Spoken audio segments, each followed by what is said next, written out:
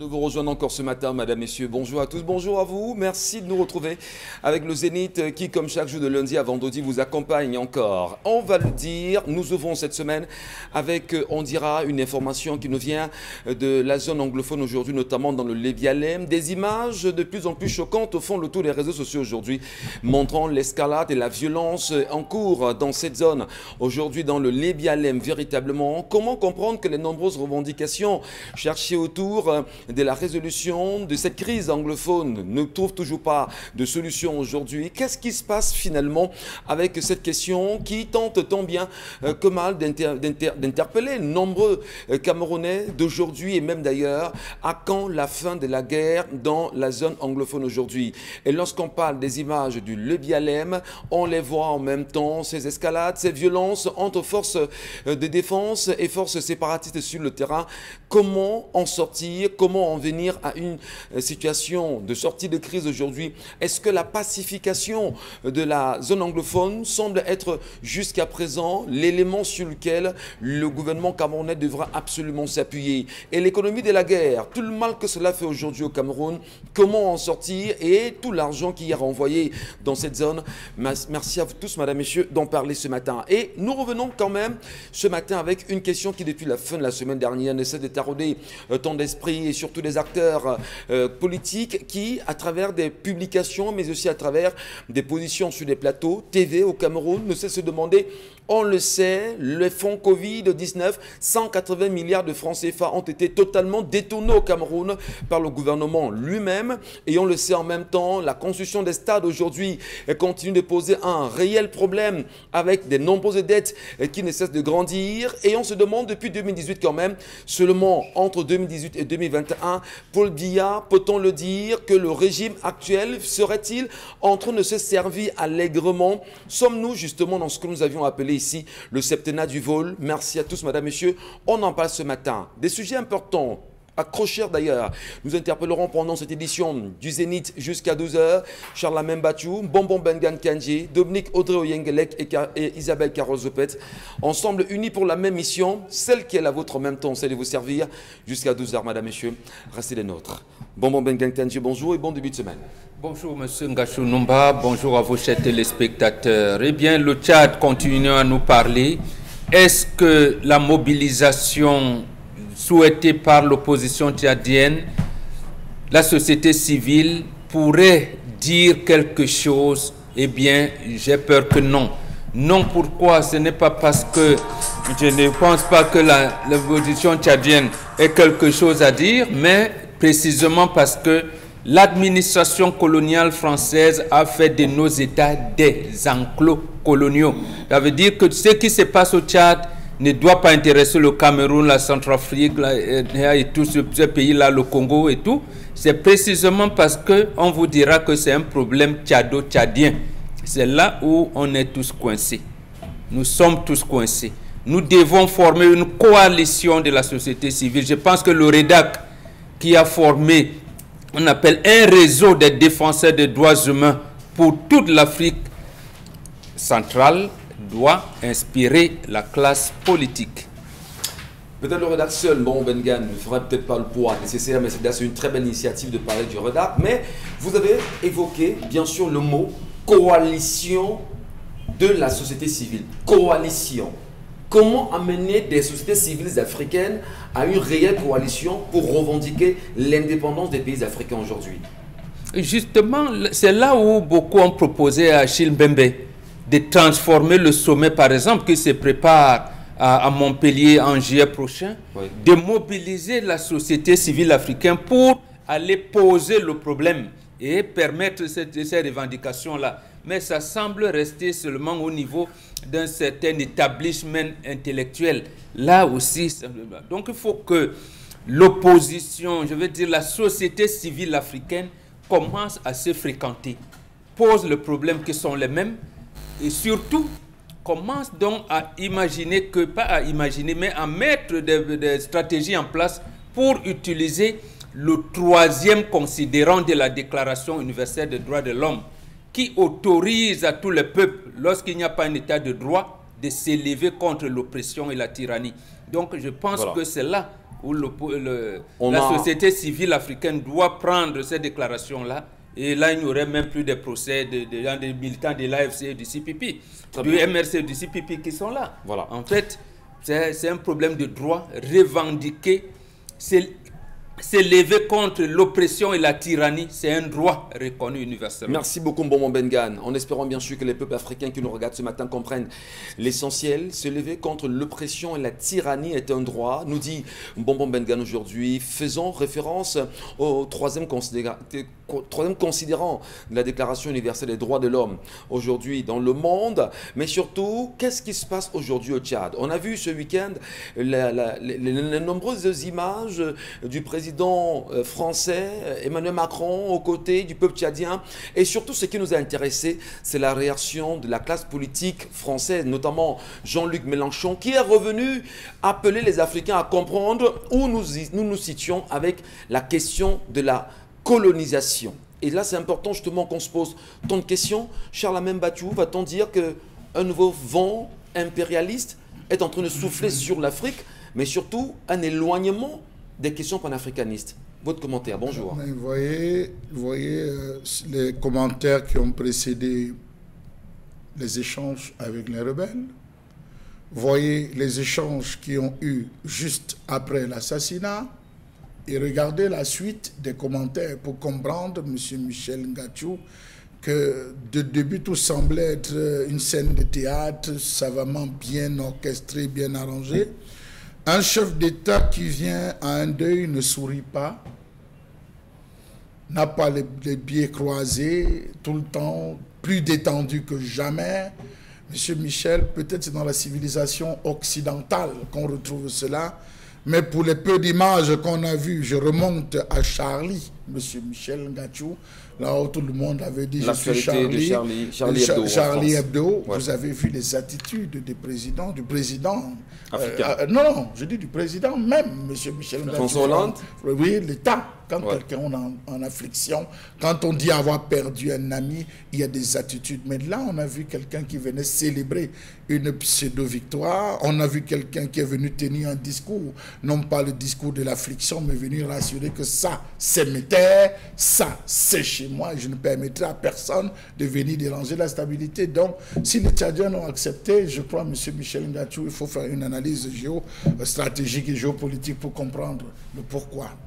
Merci beaucoup, cher Lamel. Et puis, on va justement le dire qu'à travers ces obsèques, on a écouté un discours qui a frappé les consciences africaines aujourd'hui. Mais qui l'a fait Bien évidemment, c'est le président Alpha Condé qui est revenu parler justement d'une liberté de l'Afrique, mais surtout d'un développement du continent d'ici 2050.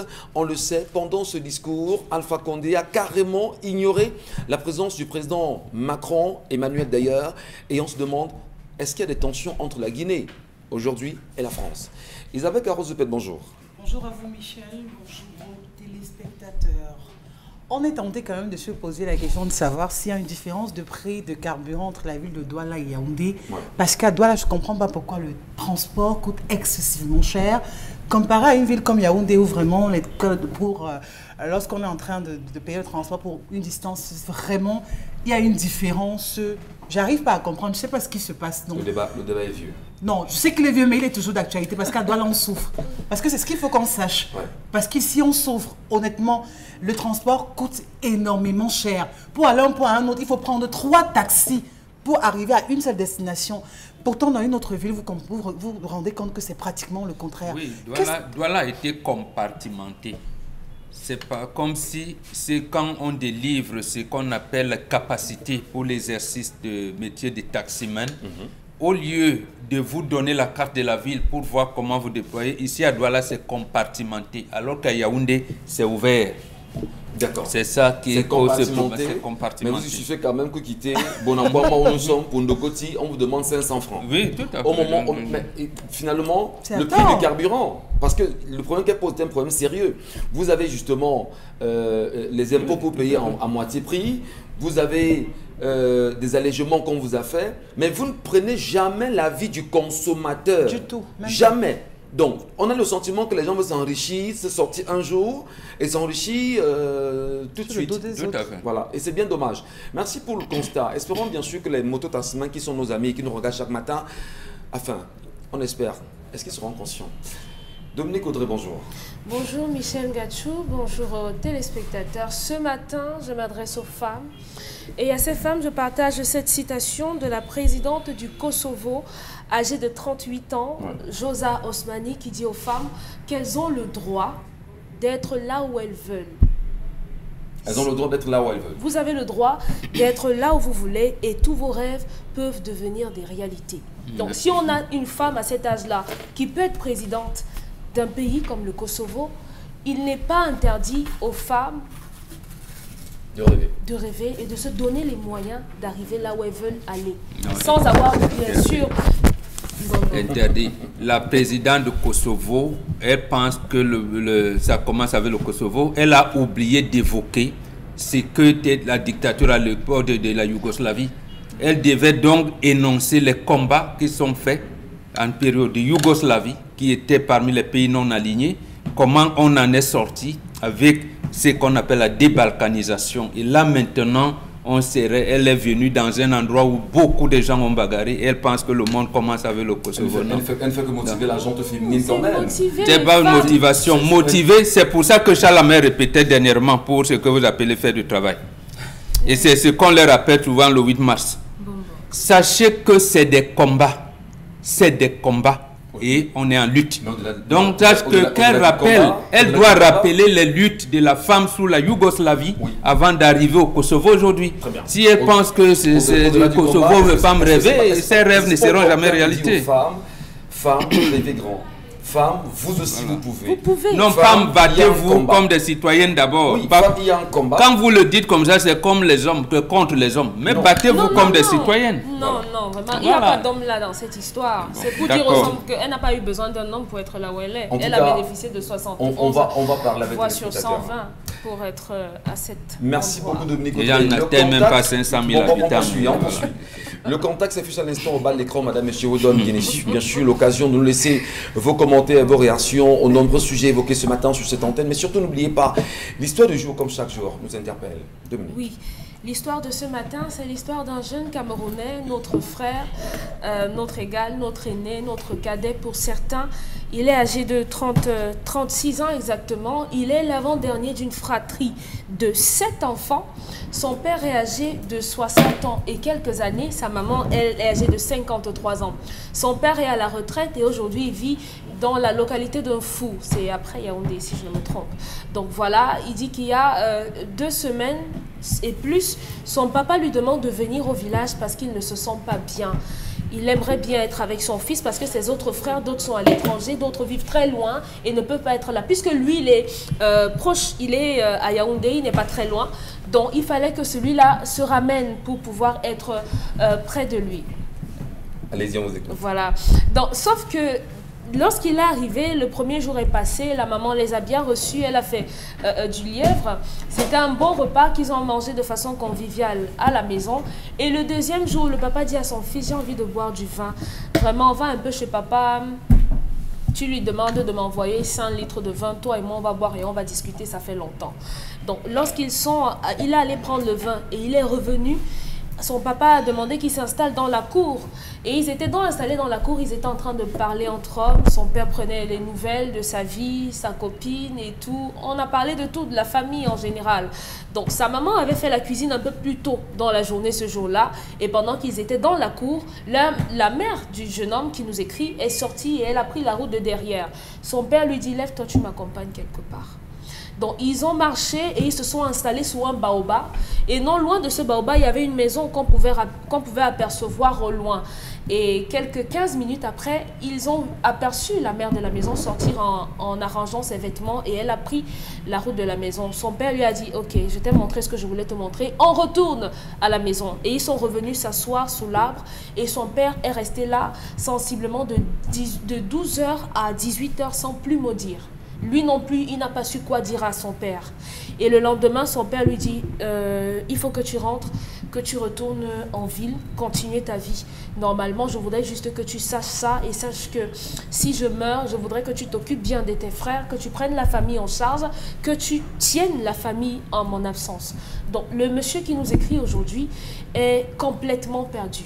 Il ne sait pas trop quoi faire, il n'a rien pu dire à son père, il ne sait même pas comment calmer ce dernier. Par rapport à ça, il a peur que son père fasse un arrêt cardiaque, il a peur d'en parler avec sa mère, de peur que celle-ci ne se recroqueville et le prenne très mal euh, en disant que son fils est en train de la juger.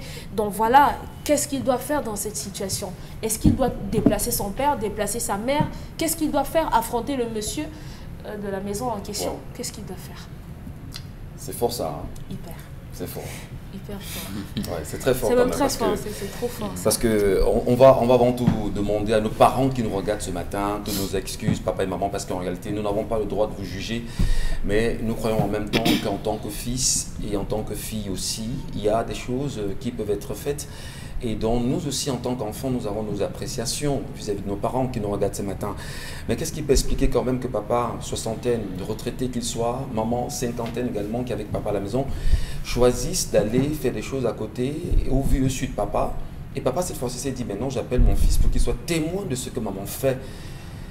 Comment vivre ça? Comment... Parce que vous nous disiez justement dans l'histoire qu'il ne sait plus comment regarder sa mère. Oui, que même son père, il a l'impression que c'est lui l'infidèle dans, dans l'histoire. Comment, comment, comment, comment trouver bien sûr une issue à ça, puisque vous avez la parole de Nicodré Et vous- avez peut-être essayé justement d'en parler avec lui. Oui. Comment vous aviez essayé de négocier Vous avez essayé au moins d'échanger pour donner des orientations? La douleur de ce monsieur est profonde parce qu'il rajoute que son père, euh, au vu, au- par rapport à ce que lui ont dit les voisins, est devenu un homme différent. Oui. Son père a totalement changé. C'était un homme qui était plutôt très en train, euh, hyper, on peut dire ag- agité, pas agité dans le mauvais sens, c'est-à-dire qu'il était très euh, social avec les gens et tout. Mais du jour au lendemain, il a totalement changé et il a peur pour son père, c'est tout à fait normal. Mais ce que je vais lui répéter simplement ce que je, je- je vous répète, ce que je lui ai dit à lui. Je crois que à votre âge, vous êtes suffisamment grand parce que j'estime que lorsqu'on atteint l'âge de la maturité ou bien l'âge de la réflexion, on peut faire asseoir ses parents et dire à ses parents, papa, maman, euh, je voudrais qu'on parle, j'aimerais avoir une conversation sérieuse avec vous. Peu, importe l'âge, du moment où on sait ce qu'on a envie de leur dire, qu'on a, envie de poser réellement la problématique. Donc je lui ai dit simplement de faire asseoir, de prendre d'abord sa mère à part, d'en parler d'abord avec sa mère et de lui demander est-ce qu'elle sait que son mari est au courant de ce qu'elle fait? Ah, j'ai envie de savoir comment, comment appeler maman, parce que Vous la comment ouvrir le débat avec Vous la maman retrouvez à la cuisine. Je me demande, je sais pas Oui. comment ça peut se faire. Vous, vous la retrouvez à la cuisine, là où elle Ouais. fait à manger. Généralement, elles ont leur cabane dehors. Vous la retrouvez là-bas. Vous l'aidez à faire de l'ail, par exemple. Vous allez commencer à parler de tout et de rien. Et bim, vous entrez dans le sujet. En donnant, par exemple, le nom du- de la personne en question. Parce que moi, ma mère ou mon père le fait à ma mère ou à mon père.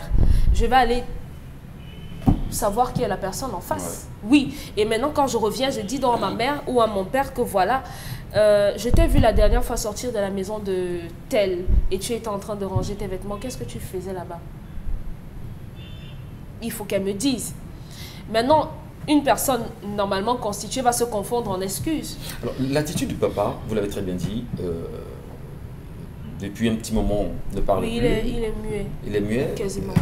Trois ans dans l'histoire, vous, l'avez très bien depuis trois ans, il ne parle plus. Et il, est en- il est en retraite depuis six ans. Six ans. Donc, ça veut dire que c'est depuis trois ans qu'il a fait ce constat. tout à fait. Alors, on peut bien comprendre le choc dans lequel il vit aujourd'hui. Oui. Alors, mais, mais surtout, qu'est-ce que qu'est-ce qu'on peut faire pour aider ce monsieur à ne pas avoir un AVC euh, Est-ce que son fils, en le retirant de là et en l'abritant, serait une solution? Non, si on l'enlève de là, ce sera plus fort. Le choc sera encore plus grand parce qu'il va se dire maintenant que je ne suis plus là, su que le monsieur là est même venu s'installer dans ma maison. Je pense que quand on est en famille et qu'il y a des problèmes qui ne concernent que la famille, on doit pouvoir le gérer en famille, en interne. Moi, je ne suis pas contre les familles dans lesquelles ça crie. Même si ça crie, au sorti de ces cris-là, Il faut des solutions. Ouais. C'est important d'extérioriser ce qu'on ressent. Et c'est mal que ce papa, à son âge, ne dise pas ce qu'il a sur le cœur parce que son cœur peut lâcher. Un simple truc comme ça et il peut perdre la vie complètement. Et il est au bord, il est au seuil de la mort, des- des portes de la mort déjà. Donc il faudrait que ce papa, cet, cet homme, fasse asseoir ses parents sans forcément amener, parce que son père n'a pas voulu le lui dire de sa bouche. Il lui a démontré, voilà ce que ta mère fait ici. Donc, au risque que cela ne devienne autre chose, il faudrait simplement ramener la, maison, que tout le monde parle, qu'on fasse venir les autres frères et sœurs, qu'on dise aux personnes qui sont concernées uniquement. Ça, c'est vos solutions à vous que vous proposez en même temps. Prenons, prenons celle d'Isabelle Carole, justement, dans cette histoire. Euh, si jamais il y a des solutions, des pistes de sortie de crise, la crise sanitaire du parent, du papa aujourd'hui, la crise justement d'un, on va dire, d'une famille qui risque de s'éclater, en réalité parce que maman qui est censée rassembler, ce serait, j'ai dit encore ce matin que nous ne jugeons pas le maman, qui nous regarde, mais qu'est-ce qu'on peut faire concrètement pour sortir ce papa de ce qu'il vit aujourd'hui Isabelle Carole euh, Je crois que c'est pas à l'enfant de se mêler pour moi. Ouais. C'est pas l'enfant de se mêler. On parle de son père, de sa mère, et on parle de l'intimité. Je crois que peut-être à un moment donné, peut-être, mais moi, pour ma part, c'est pas cet enfant de réagir. Je, on parle quand même d'une femme qui a plus de 50 ans, le monsieur a plus de 60 ans et tout. À cet âge-là, qu'une femme le fasse et tout ça, on, est quand même tenté de se poser pas mal de questions. Maintenant, ce qui, moi, me vraiment me semble un peu bizarre, c'est le, le, fait qu'elle le fasse à ciel ouvert. Parce qu'elle sait voilà qu'elle va voir quelqu'un d'autre. Et elle sait que son mari, c'est là où elle va. Parce que oui, on n'a pas dit monsieur allait au travail ou il allait faire telle chose ou il allait. bon. mais, c'est est-ce qu'il sait vraiment? Parce que peut-être. À écouter l'histoire, à écouter l'histoire, Michel Gachou. Il avait virer, hein. À écouter l'histoire, on comprend tout de suite que monsieur, la dame fait savoir à son mari qu'elle n'est plus avec lui. Oui. Elle a fini de faire manger et elle quitte, elle va voir son, son, son autre euh, homme, et puis elle revient à la maison et tout. Donc il n'y a aucune, euh, aucune jeune, elle ne se cache pas, elle n'a pas besoin de, de, mélanger les mots, quoi que ce soit, ou dire n'importe quoi. Elle le fait à ciel ouvert. Ça veut dire que vraiment, monsieur est au courant de ça. Une chose qui est simple, tu appelles ton mari, vous en parlez, ou alors vraiment, ben, je vois qu'il peut également en parler avec sa femme. Écoute, je vois que tu es maintenant avec telle autre personne, tu es maintenant avec Michel et tout. Est-ce que c'est avec lui que tu veux rester? Qu'on s'entend vraiment. C'est ce qu'il doit faire C'est ce qu'il doit faire. Vous croyez que c'est si facile? Parce que ce n'est pas si, le truc. S'il a fait trois ans sans parler, c'est dire en même temps, ça fait trois ans pratiquement qu'il vit ça. Ben, il est mieux. Certainement, il est dépassé quand il appelle son C'est ce que je dis. Vous, vous, demandez maintenant les pistes de solution, n'est-ce pas? C'est ce que je dis. Pour moi, ce qu'il a à faire, c'est de parler avec sa femme. Parce que là, pour moi, on a affaire à une femme qui, elle, a, elle fait un choix et elle dit à son mari, voilà le choix que j'ai fait. Il connaît le monsieur en question, il sait quand sa femme va là-bas, et ce n'est pas des choses qu'elle fait en cachette. C'est des choses qu'elle fait vraiment. Est-ce que ça peut être une rancune de la part de la femme? Rancune, ça je ne sais pas, parce que vraiment il y a souvent tellement de choses qui se passent dans les ménages et tout. Encore que peut-être si on donne la parole à cette femme, Dieu seul sait ce qui sortira de son ventre. Donc je veux dire que euh, vraiment comme reproche, comme incrimination, quoi que ce soit, ça on ne sait pas. Parce que là on a le son de clause du monsieur, on ne sait pas également le, retour, encore ce que cette femme dit. C'est le fils qui nous dit qu'il ne sait plus Oui, c'est ce que je dis, parce que là il a les avis du papa et tout ce qui se passe. Mais il ne sait pas, il n'a pas causé avec ça, mais il ne sait pas ce qu'elle vit, ce qu'elle endure, ce qui la motive, ses motivations et tout. L'origine, ce qui la pousse à, à poser de tels actes. Ça il ne le sait pas, mais moi je m'en tiens au fait elle le fait et elle sait que son mari le sait parce qu'elle ne se cache même pas, elle ne passe pas par mille chemins pour le faire. Voilà. Donc, ce qu'il y a à faire maintenant, ils en parlent tout simplement et c'est une conclusion. Au-delà, quand même, la question, Isabelle Carole, euh, est-ce que ce n'est pas des choses comme ça en réalité qui peuvent créer, je vais dire, qui peuvent éclater des familles parce qu'il y aura des enfants qui pourront vous écouter, d'autres ne pourront pas le valider. Et maman, comment peut être vue? Est-ce que ce n'est pas ce type d'attitude qui fait que Parfois, les femmes sont regardées autrement. C'est-à-dire l'infidélité de la femme qui est très mal supportée. Oui, c'est pour ça que je dis que l'enfant, pour moi, il est mal placé pour euh, euh, commencer à critiquer, à apporter des jugements de valeur et tout, quoi que ce soit. Parce que c'est en couple que ça se gère. Vraiment, quitte à ce que peut-être qu'on n'ait pas résolu ce conflit, que vraiment on peut faire intervenir les enfants. Je ne dis pas qu'ils n'ont pas droit de parole dessus, mais je dis au départ, vraiment, c'est d'abord les deux protagonistes qui doivent pouvoir trouver un terrain d'entente ou alors discuter ou en parler ou quoi que ce soit. Très bien.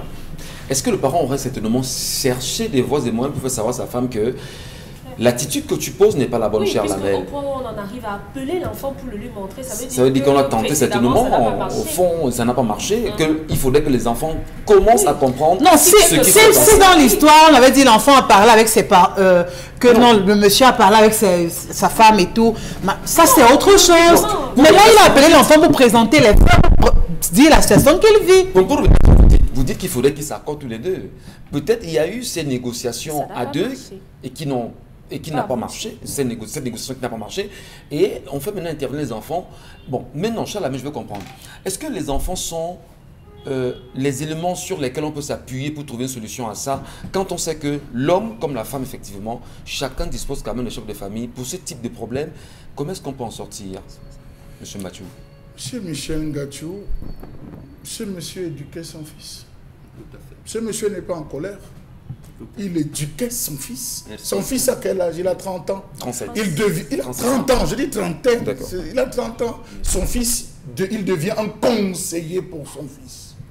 Ne l'oubliez pas chez les Bantous, de 0 à 10 esclaves, 10 à 20 disciples, 20 à 30, amis 30 à plus, conseillers. Toi qui entres dans cette vie, toi qui as la fougue, eh bien, marchons, je veux t'enseigner. Son père lui a donné une instruction, une éducation dans une instruction assez subtile. Assez subtile. Ah oui, monsieur Michel, on lui, a, rappelé le sens du mariage. Je sais que ta mère me trompe, mais je ne parle pas. Bon, votre coutume de dire, non, on oui, on, ne dévoile pas l'infidélité de sa femme. Accompagne-moi. Le fils qui est rentré ne regarde pas sa mère. Ce n'est pas le problème, c'est sa femme. En rentrant, il aurait une autre philosophie avec la femme qu'il vit.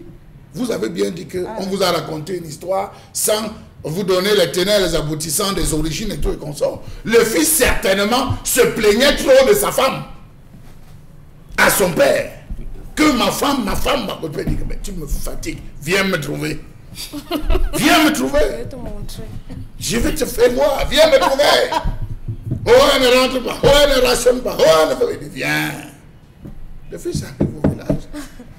Le père sait que sa femme le trompe. Il ne mange pas. On vous a dit que c'était un copieux repas, ils ont mangé. Euh, Donc il ne soupçonne pas que sa femme peut l'assassiner, peut l'empoisonner pour vivre son idylle. Non. Ils finissent de manger, il y a le pain, on va, allons boire. Toi qui te plains de ta femme, accompagne-moi. Regarde, ta mère fait quoi là? Le fils dont en ressortant dit que, mais si mon père encaisse ça, moi, je fais comment Il est troublé. Il est troublé. Donc, c'est une éducation à savoir vivre le mariage. Les Bantous ont dit que la femme ne déverse son piment que lorsque vous lui donnez le bâton de commandement à 45 ans. Quand vous avez laissé la passe à la femme, c'est-à-dire de 18 à 45 ans, c'est vous qui parlez, la femme écoute. Monsieur Michel Gadjou, de 18 à 45 ans, vous tournez, la femme écoute. Quand vous atteignez cet âge, c'est la femme qui parle. Dans tous les foyers, elle peut vous laisser encore 10-20%. Vous croyez encore que c'est vous. Ce n'est plus vous. Un jour, vous allez vous dire que c'est comme j'ai dit. Vous allez dire que bon, d'accord, d'accord. Les femmes finissent par ramollir les boxeurs. Monsieur Michel tu es champion du monde. La oui, femme oui, mais, mais, est-ce que, faut, il faut ramollir au point de tromper son mari au vu Monsieur Michel, il a éduqué, il a éduqué son fils. D'accord, oui, il faut éduquer son fils, mais est-ce que c'est pour autant que maman devra se comporter comme ça Le père le sait. Allez dans les quartiers. Parfois la mère rentre, tu entends comment le père dit que tu ne peux pas faire moins de bruit, tu m'as réveillé. C'est le père qui dit à sa femme, en rentrant là, il connaît le va et vient de sa femme. En rentrant là, tu as trop fait. Est-ce que c'est pas ça Non.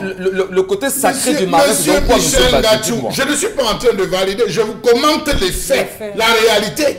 Il y a des gens qui, à partir de 50 ans, ont des dysfonctionnements érectiles. Est-ce que ça va empêcher qu'il ait une entente avec sa femme? Il y a des personnes qui arrivent à un niveau, le sexe ne lui dit plus rien. Il y a des femmes comme ça, elle dit que vraiment, cherche-toi. Il faut même chambre séparée. Reste dans ton coin, je reste dans mon coin pour les occidentalisés qui avant vivaient l'amour. Donc il faut interroger tout ça pour comprendre là où on se situe. Donc je dis pour moi, jeune garçon, vous avez reçu la plus belle éducation. Bon, bon, Maintenant, mettez en application. Vous validez également sur l'éducation Peut-être oui.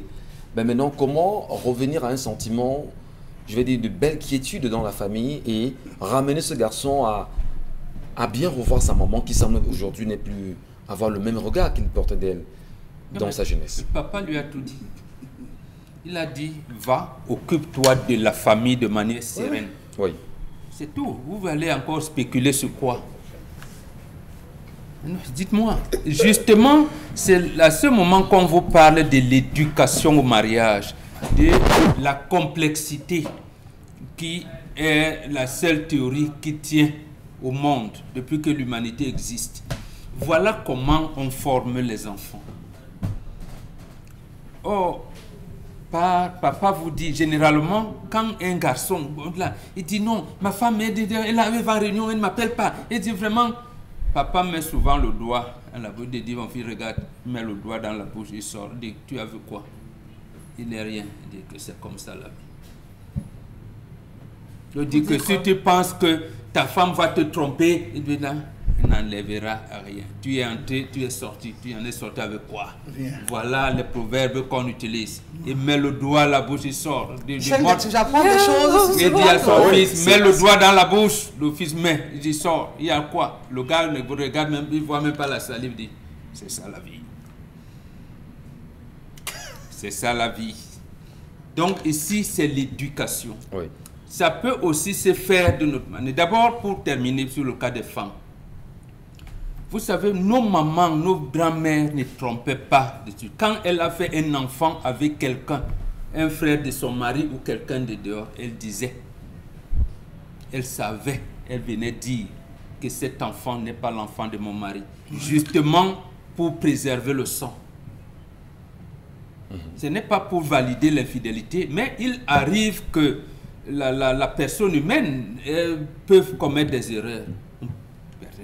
Et papa encadré. Et ce genre d'enfant, si c'est le frère de, de, de, de- son mari ou le cousin, et que le sang est dans la famille, et qu'il y a par exemple nous qui avons le mbok ou la, la, la chefferie et tout, ça encadre justement les problèmes de succession.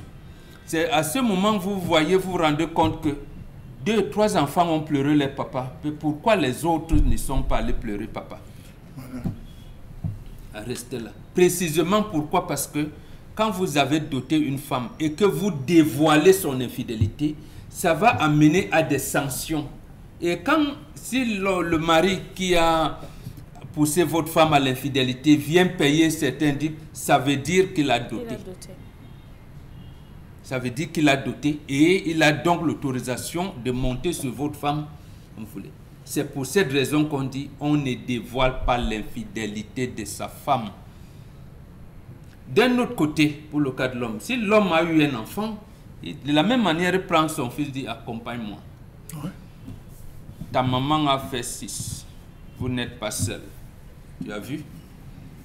Le garçon rentre. Et justement, ça fait partie de l'initiation. Et quand tu rentres donc, si cet enfant était à l'initiation de bon comme moi, quand tu rentres, tu vas, papa te fait exprès, dit, va à la cuisine, va, va voir maman. Maman va te dire, tu étais où? Tu étais où? Si tu parles, c'est fini, tu n'es pas un bon garçon. Donc, le Donc, fait c'est- d'aller c'est- dire à C'est papa, l'initiation. oui, le Mais fait d'aller les dire à femmes- maman. les femmes en rient parce que maman, tu comprennent sais, pas. et Je sais que tu es. Non, un enfant n'a pas le droit de parler de l'intimité de, sa maman et de son papa. Il n'a pas le droit. Très bien. J'ai dit bien, un enfant n'a pas le droit de parler de l'intimité de ses parents. Il n'en a pas. Ça lui sert d'éducation. Merci beaucoup, Mourou Bengal. Vraiment, l'enseignement ce matin est au paroxysme en réalité, tout en espérant que les parents qui nous regardent euh, nous ont écou- écou- écoutés. Et on s'est dit justement ce matin qu'on ne jugeait pas les parents, mais c'est quand même assez compliqué parce que quand je regarde quand même, j'imagine maman. J'imagine maman. Tout l'amour que j'ai pour maman. Parce que vous êtes dans le prisme. Oui, agréable. je dis n'importe quoi. J'imagine maman avec tout l'amour que j'ai pour maman. Sorti quelque part, rangeant son vêtement. Certes, c'est vrai, je ne dirais rien. Certes, c'est vrai, je ne dirais rien. Mais quand même, Monsieur, mais quand La même, perception va mais, changer. mais quand même, je ne sais pas si j'aurais toujours euh, le, Allez lire, Michel, s'il vous plaît, Michel, allez Michel. lire Oum Koulel, l'enfant Peul de Amadou Ampatemba. Il vous dit clairement comment l'école n'apprend pas, c'est la vie qui apprend. Donc, en fait, cet enfant, comme a dit Chalamel, il a appris à 30 ans. Mais on imagine que papa a commencé à lui donner une certaine éducation dès l'âge, dès de bas âge. D'accord. Donc ici, en fait, il a été embarrassé comme vous.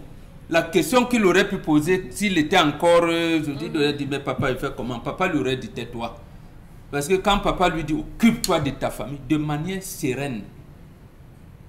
Bon, J'avoue, j'avoue qu'on on, est maladie justement de temps en temps, on n'y met pas d'organes ce matin, pas d'organes surtout, mais quand on sait qu'on a tout l'amour pour maman et que là on retrouve maman, nos mamans dans ces conditions, ça ne fera jamais plaisir, vraiment.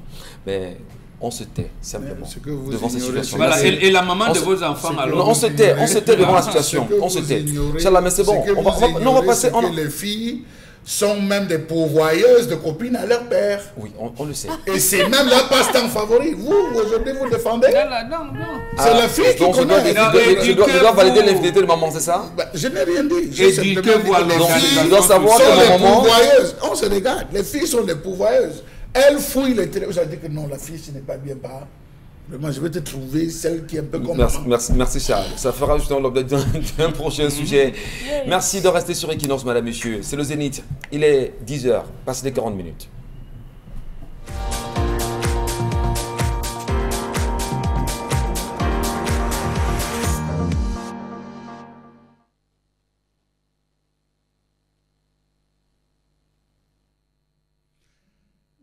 M'interroge ce jour sur la question de l'occupation temporaire de la voie publique au Cameroun. Qui est qui dans cette affaire? Qui fait quoi? Quand et comment? Telle est la question qu'on a appelé à se poser. Quelles sont les parties d'une route Sont-elles respectées dans ce pays? Point d'interrogation. Comment comprendre que dans ce pays, la route ait perdu toute sa valeur? Désormais, on occupe littéralement les trottoirs et tout va bien. Comment comprendre que depuis ces derniers jours, les communes d'arrondissement semblent encourager l'occupation de la voie publique? Comment comprendre qu'aucune priorité n'est donnée à l'organisation de la route? Comment comprendre que même le petit espace réservé à la route soit transformé en parking À l'aide de l'ancien maire de la ville, communauté urbaine de Douala, on est allé jusqu'à diviser les chaussées, faire encore des traits des deux côtés de la route pour demander aux gens de garer sur la voie publique. Est-ce cela qu'on appelle embellissement de la ville?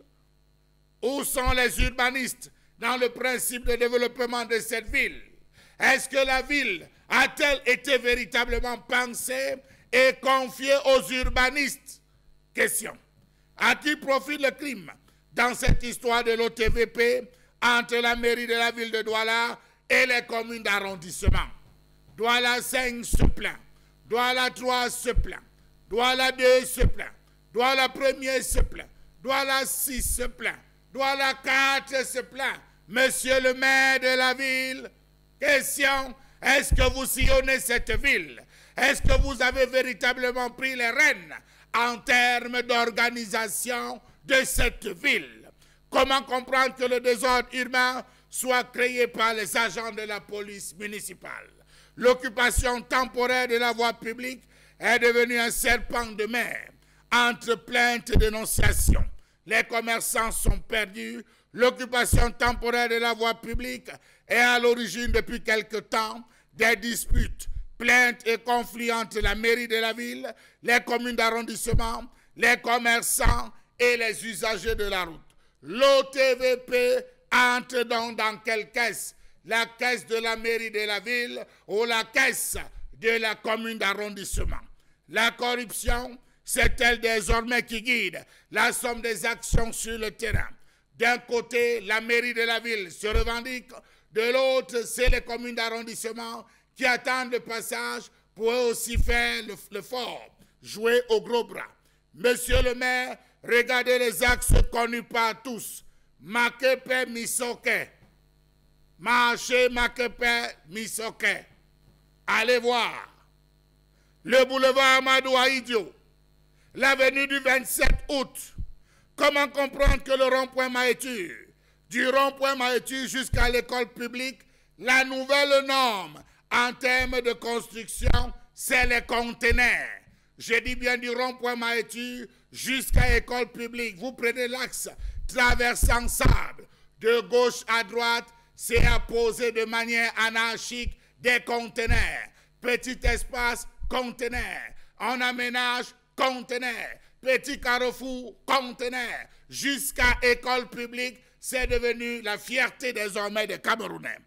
Vraiment, regardez le tas de la chaussée partant de la douche pour ancienne Dalip. Comment comprendre cet engorgement du trottoir orchestré par les Chinois qui pratiquent le gros et le détail partant de douche? Jusqu'à Dalip. Allez voir de ce côté. Allez-y voir comment les trottoirs sont occupés par les Chinois grossistes et détaillants. On prend dedans, on vend dehors. On prend à côté, on vend dehors. On laisse le dehors, on vend sur le trottoir. On laisse le trottoir, on vend sur la chaussée, monsieur le maire de la ville. Allez en Bopi, mangez en Bopi, au TVP. Allez voir devant la brigade, le camp des gendarmeries. On laisse le marché, on va en route. On laisse le marché, on prend les boutiques à l'intérieur, on vend sur le trottoir. On laisse le trottoir, on vient vendre sur la chaussée. C'est au Bensikin et aux voitures d'esquiver. Pourquoi la police municipale, dans l'opération libérée, ne va-t-elle pas libérer là-bas? Question.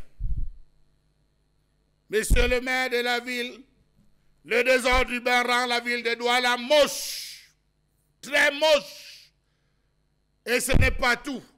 La ville est parsemée de ces personnes qui passent le temps à organiser le désordre urbain. Vous garez sur l'endroit convenu, sabot.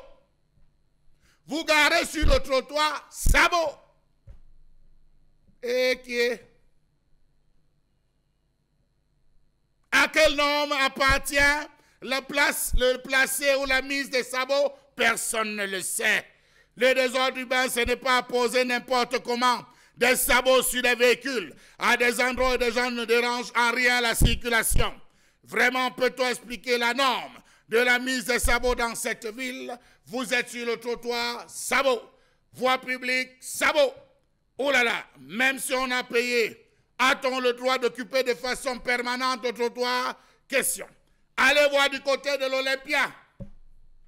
Le cristal à Bonamoussadi. Sans papier. Allez voir ce que ces propriétaires de débit ont fait de la voie publique. Je vous épargne des nuisances sonores. On place des chaises sur le trottoir. Le soir, il y a des individus qui viennent porter les chaises et divisent la route en deux avec des DJ qui mixent dehors, monsieur le maire de la ville. Ça fait Moutoumou, Moutoumou, toute la nuit, au son de DJ Arafat, on mixe, on s'en fout. Pareil à Deido. Alors là, c'est grave. On a divisé pratiquement tout l'axe. À partir de 18h, messieurs les usagers, vous devez circuler comme des mototaximens. Comment donc comprendre que les pseudo-concessionnaires recrutés par les élus locaux émettent des taxes illégales, séquestrent des contribuables et distraient annuellement des centaines de millions de francs qui n'aident et ne financent pas le développement. Vous ouvrez un bar où les gens sont assis à la terrasse, on vous frappe. Finalement, comment comprendre? L'OTV, finalement, c'est le piège de qui? La mairie ou les communes? Monsieur le maire, réveillez-vous.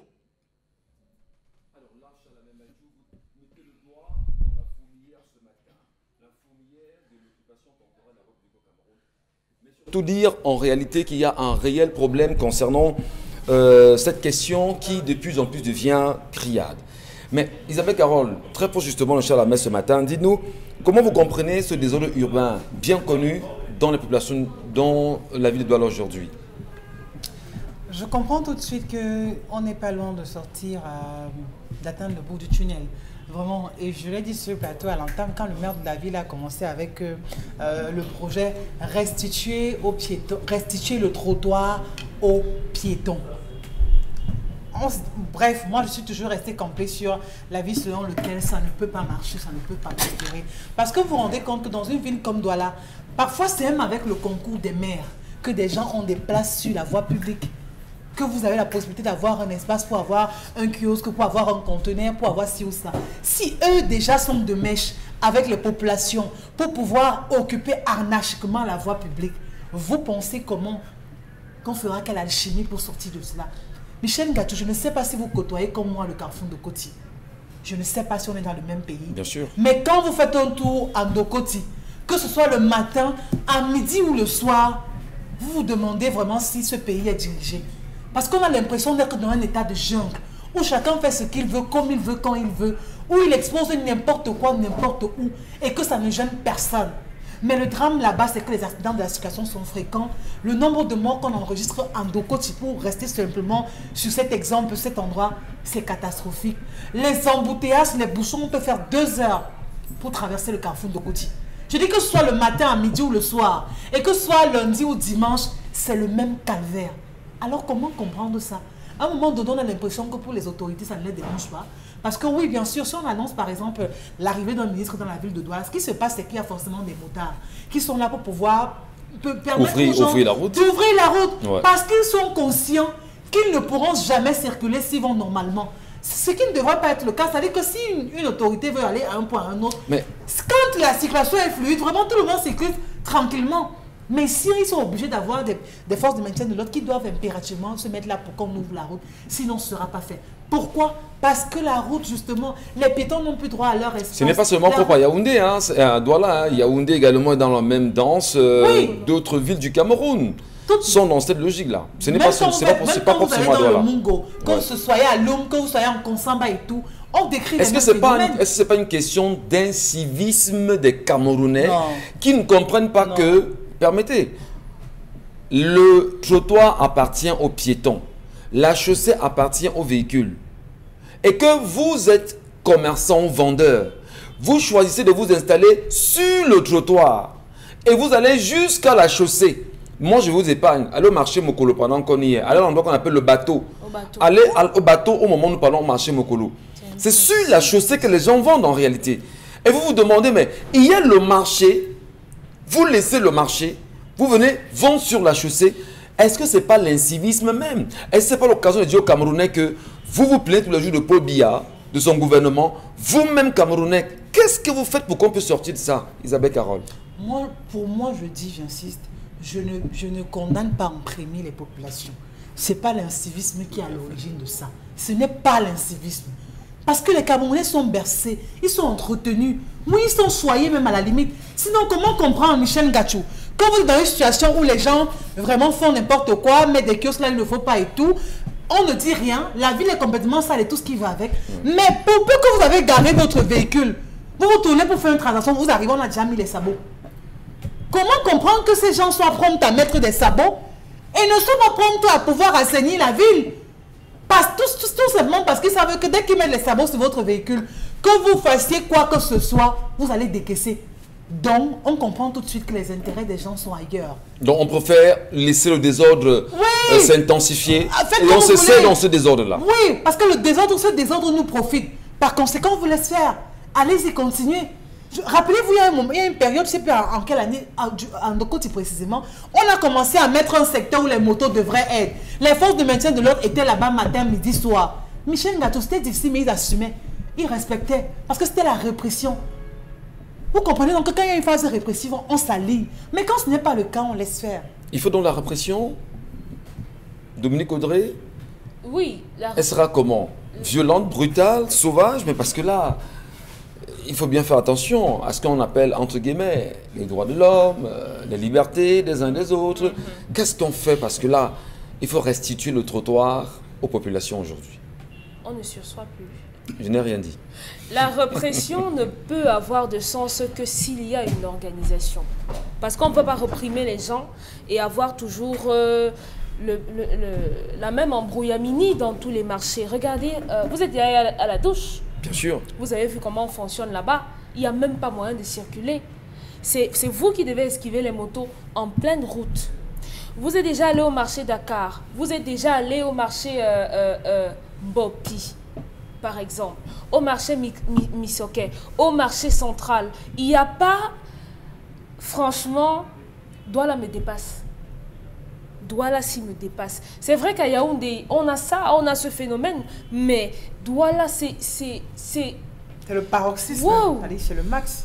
C'est oui, c'est le summum du désordre ici. C'est incompréhensible. Moi, je suis de ceux qui pensent que les citoyens ont leur part de responsabilité là-dedans également. Parce que lorsque je prends ma banane, je, je viens me mettre là, en pleine route. Non, j'ai quand même ma responsabilité. Combien de Camerounais ont été écrasés parce qu'ils étaient au mauvais endroit au mauvais moment? Je vous prendrai le cas de, de, la montée euh, comment, du, du carrefour Liguedzoa à Yaoundé, la montée qui va je crois que même en Dokoti aussi, il y a des gens qui sont morts comme ça parce qu'ils ont été ramassés par des camions parce qu'ils étaient placés à ces endroits-là. Et doit précisément en allant à Mangui, voilà. On s'en souvient des scandales qu'on a eu à ces endroits-là. Même au marché Sam, il y a à plusieurs reprises des, les, les, voitures ont, ont, ramassé, ont cogné des gens en plein marché parce qu'ils étaient placés en pleine route. Pourquoi? Parce que maintenant, de ce côté-là, on, on, reproche aux personnes qui nous gouvernent d'avoir des comptoirs qui sont trop chers à payer pour ces personnes. La conséquence, ils ne peuvent pas payer aussi cher pour avoir des comptoirs et ne pas être sûr de pouvoir rentrer dans leurs frais, avoir une certaine recette. Ils sortent donc à pâcher au niveau de la route. Ça crée et les embouteillages, et les agressions, et le vol. Et aujourd'hui, par le Covid, on multiplie certainement des cas de maladie. C'est vrai que tout à l'heure, ça me dit justement que ça profite aux, uns aux autres euh, de laisser euh, ce désordre prospérer, parce qu'on se sert justement là-bas. De cette fameuse taxe. Le problème, c'est qu'ils sont les maires ou c'est le maire de la ville. Ce sont les maires d'arrondissement ou c'est le maire de la ville. Tout le monde se sert. Tout le monde se sert. Puisque tout le monde se sert, madame, monsieur, restez sur Equinox Télévision. On n'en parle dans un instant de cette réelle, de cette réalité autour de l'occupation temporaire de la voie publique au Cameroun. Qui se sert? Comment se servent-ils? Où va l'argent collecté Finalement, qu'est-ce qui se passe dans ce pays? Sommes-nous dans ce qu'on appelle le septennat du vol? On en reparle.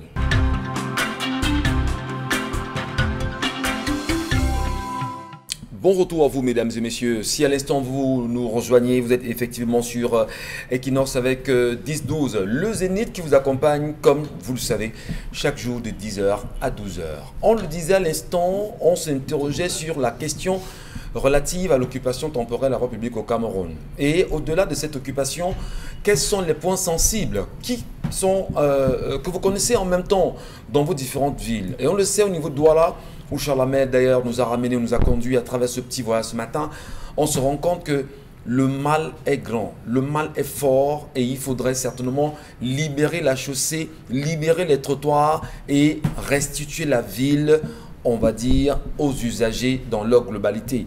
Alors, fondamentalement parlant, une question était posée tout à l'heure, c'est de savoir qu'est-ce qu'on fait de l'argent collecté, premièrement, sur ces voies-là aujourd'hui, ou encore, euh, est-ce qu'il y a au moins une caisse nationale dans les mairies. On peut budgétiser, on peut quand même dire aux Camerounais ce que cet argent collecté auprès de ces derniers a rapporté auprès du contribuable camerounais Moron Bengal.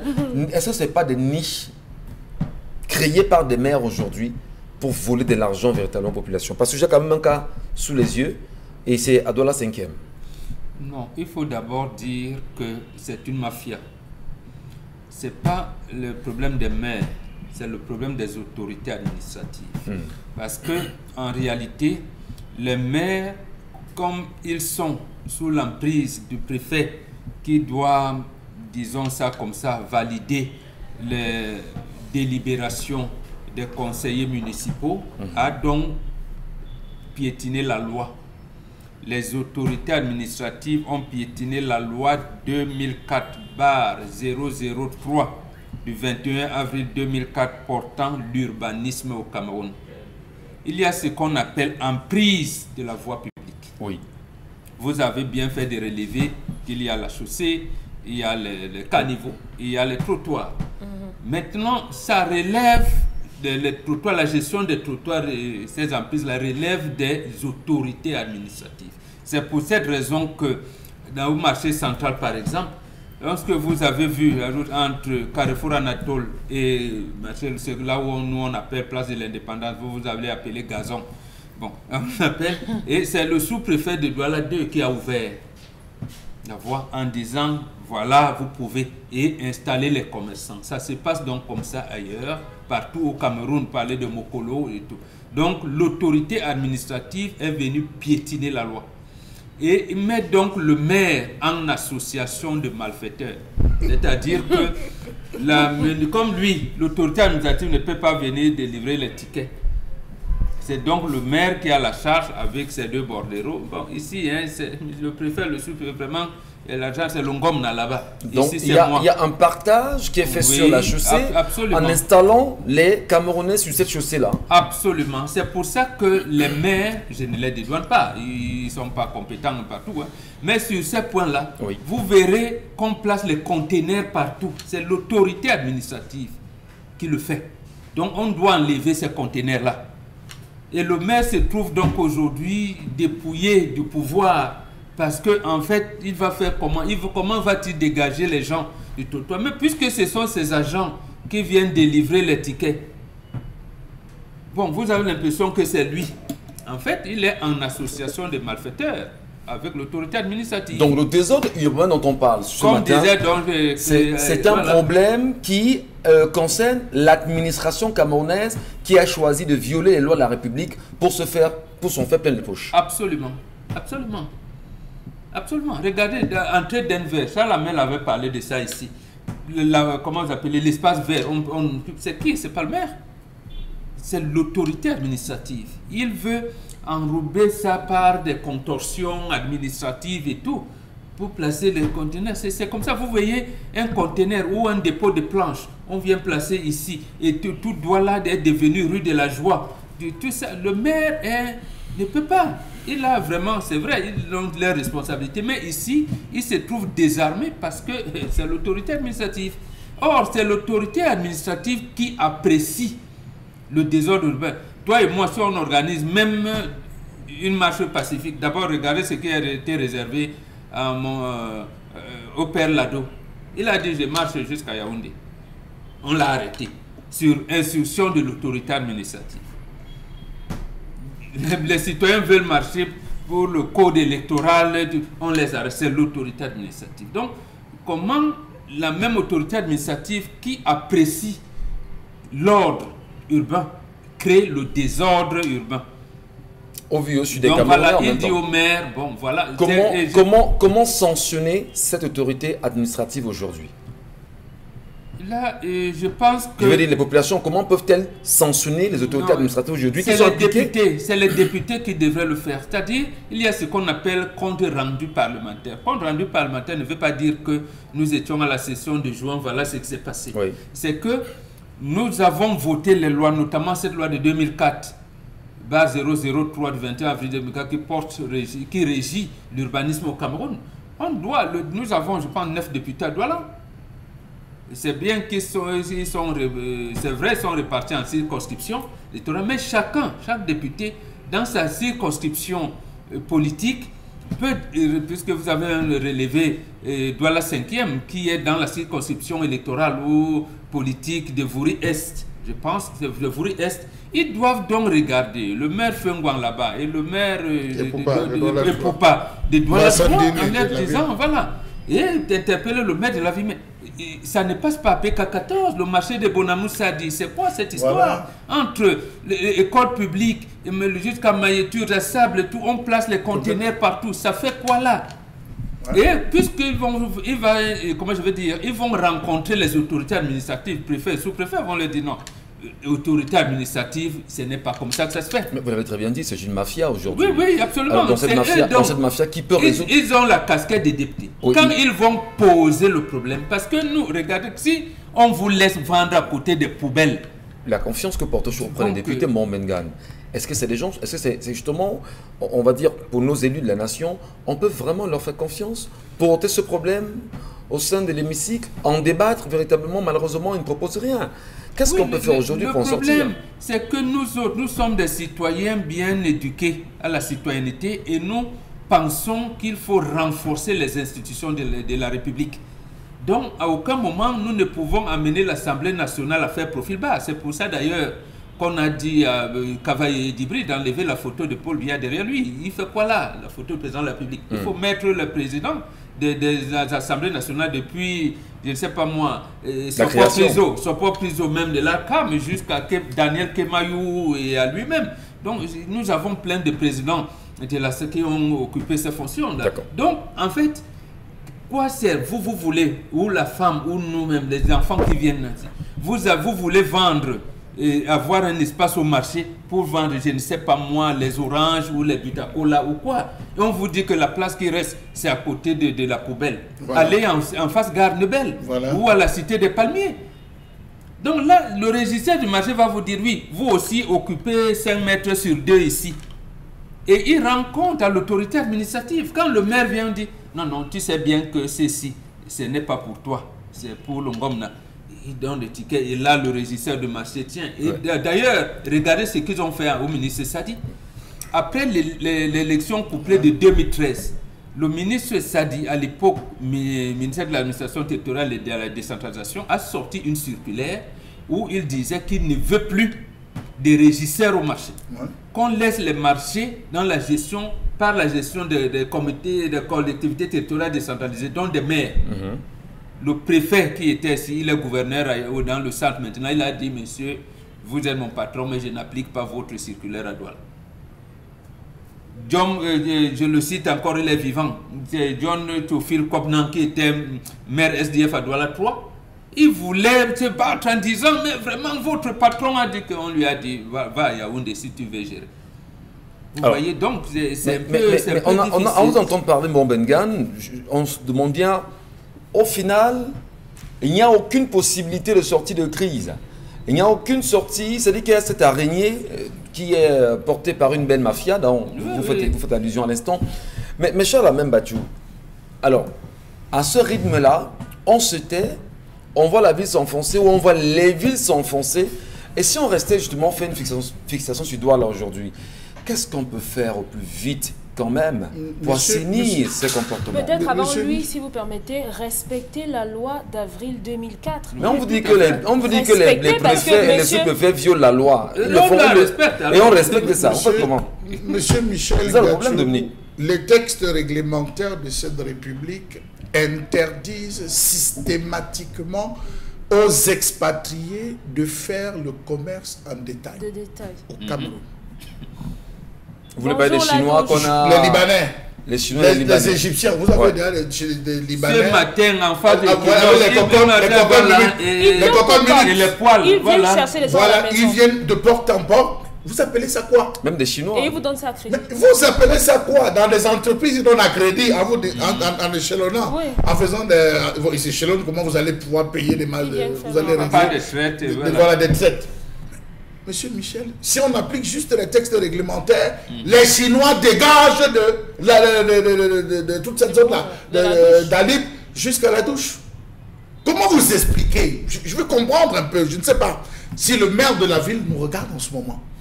Monsieur Michel Gachou, les Chinois prennent de dedans, ils vendent dehors. Ils. Dedans, ils font le gros. Dehors. Au milieu, la petite véranda, ils font le semi-gros.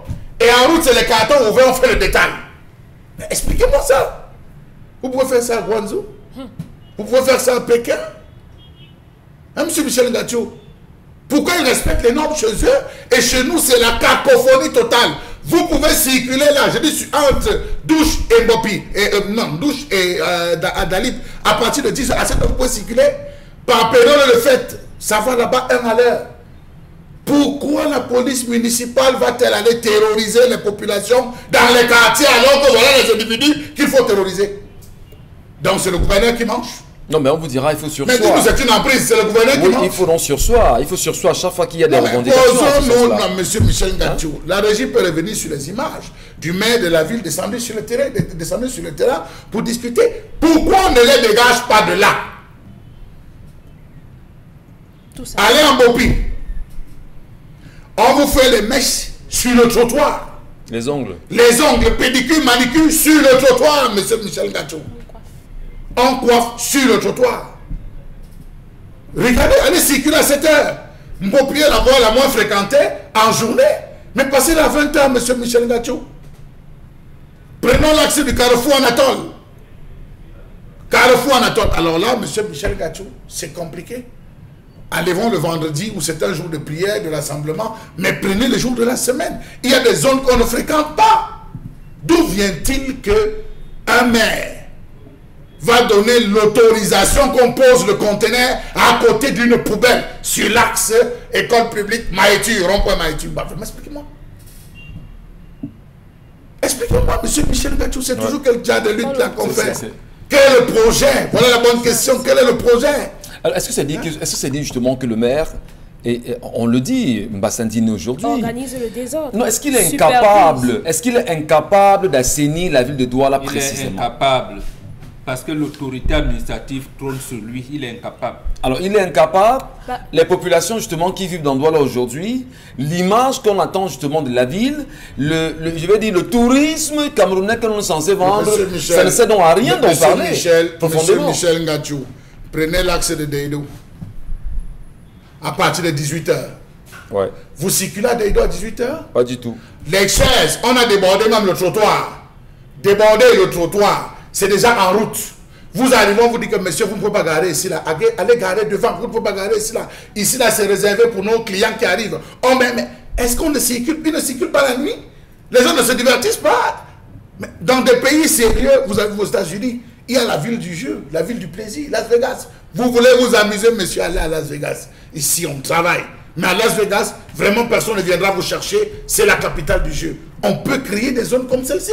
Allez à Bonamoussadi de sans-papiers jusqu'au cristal, monsieur Michel Gachou. Je cite parce qu'on a fait des tours dans, cette, dans, différentes zones. La qualité, la nuisance sonore, je prends nuisance sonore seulement.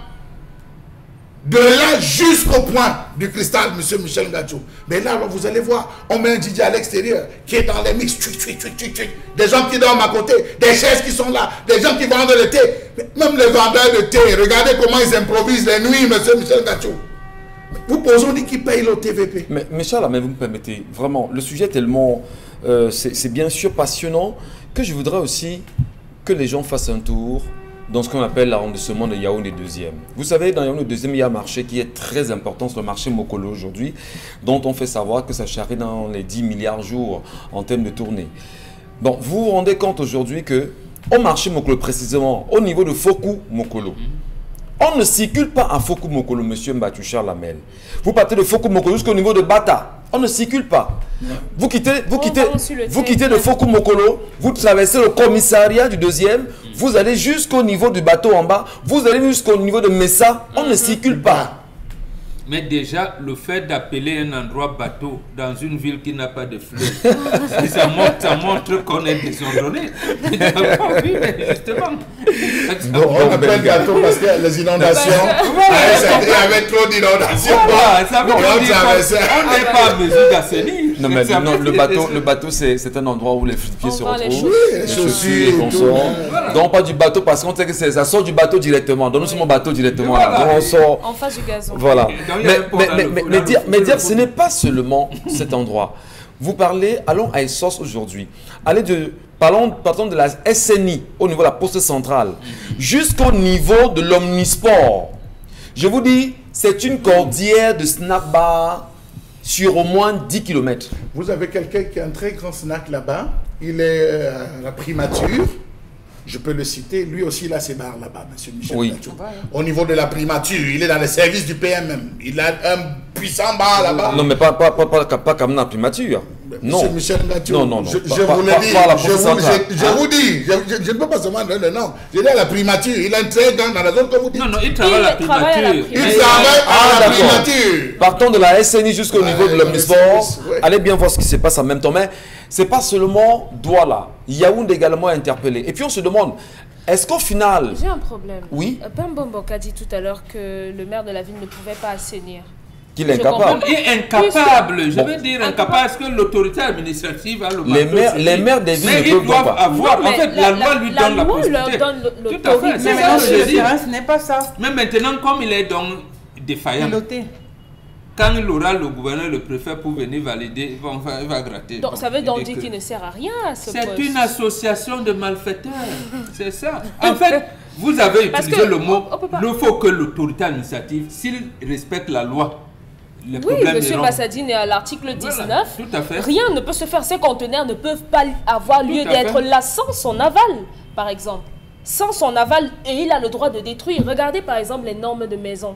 C'est chacun qui construit sa barrière. Et si c'est le préfet qui, vient dire que mon gars, là, bon, bon, bon, place ton conteneur. C'est lui-même qu'on vient voir pour dire non, mon frère, je veux une place. C'est lui qui positionne même des gens à cet espace. Bon, il y a des normes de construction pour les maisons qui sont au bord de la route. Absolument. D'où vient-il donc qu'on va mettre des conteneurs?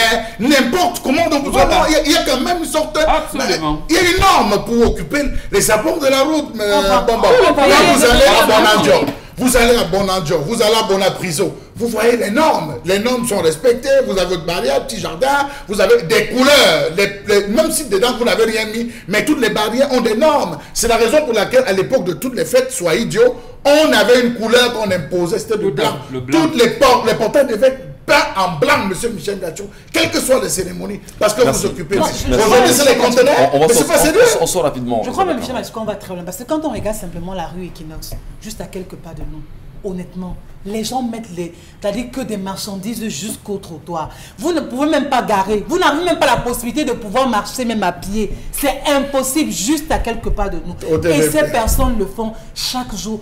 Et payent paye dans le Voilà, on comprend donc que ça profite à certaines personnes qui, qui favorisent ça, mhm. qui font en sorte que le décor justement reste le même parce que ça les arrange. Nous précisons à la police municipale qu'au lieu d'aller porter les petites tables dans les quartiers, dans les, je dis dans les quartiers, qu'ils s'arrêtent en route.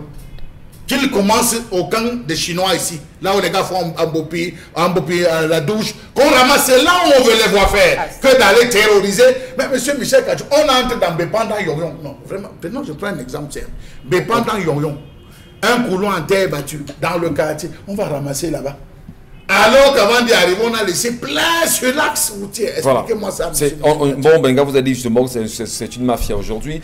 Est-ce qu'on va justement conclure en disant que le Cameroun est géré par la mafia dans sa globalité? Parce que la question de l'occupation temporaire de la voie publique posée en faisant une fixation au niveau de Douala, s'étend également au niveau de Yaoundé gravement, s'étend au niveau de Garoua, de Ngaoundéré, de Maro également là-bas. Qu'est-ce qui explique en même temps que l'on en arrive à ce niveau? Pourquoi le Cameroun est si désordonné, autant désordonné?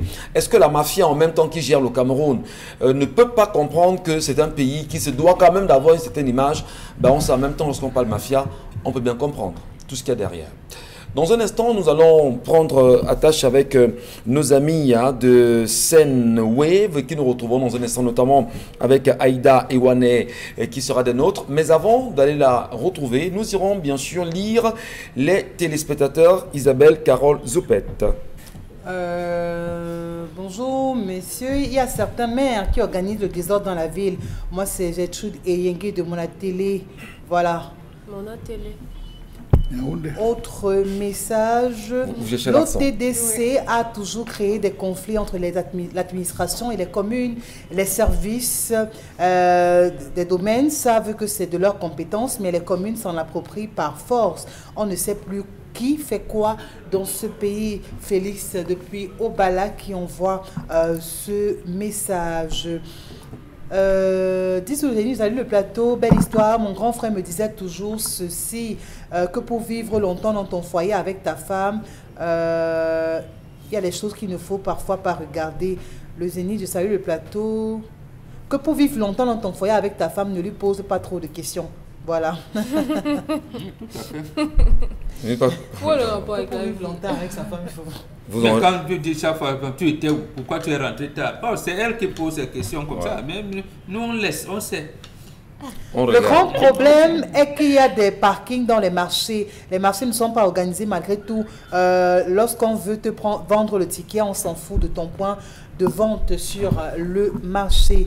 Le message n'est pas signé. Ce pays est à refaire pour, euh, pour moi faudrait adopter le système d'Amérique, tolérance zéro, pour éduquer les Camerounais. Malheureusement, notre gouvernement est incapable. Signé Brice depuis New Bell. Puisqu'ils ne peuvent rien proposer en face, ils ne peuvent pas. Et compare aux États-Unis qui ont des qui les institutions. Non, mais il, a parlé du niveau de tolérance zéro. C'est-à-dire que si on applique tolérance zéro, ça va passer. est-ce que vous mais les gens, tu vas arrêter, on va dire non, eh, c'est le cousin du c'est le Tolérance le- zéro, ça veut dire que vous avez les institutions qui fonctionnent. Les Lawrence- a été un exemple pour l'évolution du Ghana aujourd'hui. Mais à un moment donné, vous ne croyez pas que dans ce pays, et là je le dis avec, euh, vraiment avec modération, est-ce qu'il ne faudrait pas parfois dans ce pays avoir un dictateur pour ramener les choses? Un dictateur, je veux dire, Un bon- au- dans le bon dans le sens. bon sens. C'est- Un dictateur éclairé, Un- éclairé, peut-être. mais c'est incroyable. Aller au niveau du marché. il faut un à la, présidence, social. la présidence est À la présidence est à. Maman. Allez au marché dit au moment où nous vous parlons. Mm. Si vous pourrez circuler, comme vous allez au niveau de Cercle Bonsoir, jusqu'au niveau même de la présidence, en face même de la présidence, allez voir comment on érigé des bars à l'entrée d'Etoudi. Quand vous prenez l'axe, euh, bon, ils ont quand même changé un peu hein, au niveau de, des manas, mais ça, si, ça change un peu. Mais c'est quand même, c'est assez grave quand même. Allez à, ce- niveau-là, jusqu'au niveau Santa Barra, qui est un quartier résidentiel. Allez voir comment on gère le TVP là-bas. Isabelle Carole, poursuivez. Euh, les paroles sur le plateau me vont droit au cœur. J'ai 46 ans. Il faut avoir le cœur avec les femmes. Vous avez touché un point qui me concerne. Le sexe de ma femme ne me dit plus rien. Signé Major depuis Ben Mabrouk. Voilà. Alors, Ben alors, alors là, c'est. Oui, ça arrive. Ça ne lui dit plus rien, comment ça? Oui, ça veut dire que pour Non, lui, il n'a plus, ne- il n'a plus l'appétit sexuel. Non, il a 46 non, ans. non, c'est pas ce qu'il veut dire. C'est demain, il a vu des choses comme le papa a vu, et puis il C'est s'est dit, bon, qu'il voilà, dit. ça ne dit plus rien. Absolument. Mais vous qu'il vous intéressez à autre chose. Voilà. C'est pour ça La que j'ai dit, j'ai dit ici vendredi qu'après le sexe, il y a autre chose qui vous lie à votre femme. Avec le monsieur qui était obsédé là. Isabelle. Euh, La télévision, des... je, je suis sans voix. Mon oncle est mort à cause des lenteurs juridiques dans ce pays. Franchement, je me demande si notre nation est encore. À cause de dirigée. lancer de quoi Les lenteurs. Un Administratif. lente administrative. Oui. Et c'est ce que euh, on décrit tout le temps. Euh, bonjour, studio pour l'histoire. Le jeune homme doit prendre son courage à main et faire asseoir ses parents pour essayer de parler. Car il, euh, si rien n'est fait, le papa risque d'attraper un AVC ou encore peut passer par un conseil de famille. Repos et palais depuis Ah, longtemps. Je peux vous rassurer. ce qu'il ne faut pas même faire. tenter de faire. Il ne faut même pas imaginer ça. Papa vous la plus rusé que son père. Et voilà. D'accord. Allez, un dernier message, Isabelle Carole. Nous allons rencontrer nos amis de Senway. Euh, bonjour le plateau, ce monsieur ferait mieux de comprendre les conseils de son papa. Femme est terrible, marions-nous seulement David depuis Yaoundé. Alors, on se marie, on se il marie, aucun on commence, ça veut dire quoi, bonbon Bengan? Vous qui êtes, vous qui êtes nos, par- allant parents là, quand vous vous mariez, déjà que Est-ce que vous n'êtes pas en comprendre. train de, légif- de légaliser, de valider l'infidélité des femmes sur ce plateau ce matin? Parce que, que ça peut parce que non, il faudra qu'on s'entende. Si vous êtes femme, Et ça fait mal. Mais je parle d'une c'est une, question humaine. Ça fait mal. Ah. L'infidélité de la femme. On ne supporte Cher ami, ce problème a été résolu officiellement en 1963. Si vous voulez parler de votre cas. L'office d'Agatha Moudio. Oui. Voilà, vous êtes là. Votre femme vient avec un métis. Vous faites comment Non, mais écoutez, On Non, remonte vous allez- vous allez vivre oui. comment Vous allez vivre On- comment On, on remonte la, la- Vous allez vivre comment la Vous faites comment Vous vous allez vivre normalement dans ce cas-là Monsieur, monsieur comment Je, parle comme d'autres Camerounais qui penseraient comme moi, quand même. Vous allez faire les tests ADN pour dire que mon grand-père était un, croate. Un croate qui était de passage ici, qui avait. bon, Non, Merci, merci beaucoup. Allez, rapidement, allons voir, Non, non, non. allons voir nos amis de Senwave qui sont avec nous ce matin. Bonjour Aïda Iwane, bonjour. Bonjour. Eh bien, allez, veuillez nous présenter justement euh, votre rôle chez Senwave. Euh, que- Qu'est-ce que vous nous offrez aujourd'hui déjà, s'il vous plaît? Alors, je suis la représentante de la croissance de Sendwave. Je suis ici pour vous parler de Sendwave, qui est une application qui permet aux Camerounais vivant à l'étranger d'envoyer de l'argent euh, au Cameroun à de moindres coûts et rapidement, directement dans le portefeuille mobile, MTN ou Orange. Alors, vous pouvez trouver Sendwave sur euh, Google Play Store pour les utilisateurs d'Android ou alors App Store pour les utilisateurs d'iPhone. Alors, pourquoi les gens devraient-ils utiliser Senwave, euh, Aïda? Alors, je vais vous donner cinq raisons pour lesquelles vous devez utiliser Sendwave. La première est que Sendwave est très pratique, c'est-à-dire que vous n'avez plus besoin de quitter le chevaux pour envoyer de l'argent à vos proches au Cameroun. Vous aurez uniquement besoin de votre téléphone mobile. La seconde raison est que Sendwave est très fiable et sécurisé. C'est-à-dire que nous utilisons toutes les données de nos utilisateurs. Lorsqu'elles sont entrées dans votre téléphone, elles sont cryptées. La troisième raison est que nous avons une équipe d'assistance disponible 24 heures sur 24, 7 jours sur 7. Donc, si vous avez un problème pour envoyer de l'argent ou quoi que ce soit, vous contactez notre équipe et vous serez répondre, vous, allez être répondre. On va vous répondre immédiatement. Mhm. Et alors, la cinquième raison est que nous avons une promotion spéciale. Déjà, il faut savoir que lorsque vous utilisez de l'argent, vous envoyez de l'argent, 5 euros ou dollars, tout dépend de la devise que vous utilisez, est rajouté au montant. C'est-à-dire que si vous envoyez 500 dollars, l'argent qui sera reçu sera 505 dollars. Maintenant, jusqu'à la fin du mois d'avril, nous avons une promotion spéciale. Donc vous envoyez 5 dollars, l'argent qui sera reçu sera 505 dollars. Oui, et oui. Alors la promotion spéciale est que vous pouvez utiliser le code promo Equinox lorsque vous envoyez votre argent. Et puis, vous serez enregistré pour euh, le concours afin de gagner 200 dollars et il y aura deux gagnants. Oui, d'accord. Alors justement, comment s'inscrire et comment, ça, comment s'inscrire et commencer à utiliser Sendwave, Aïda?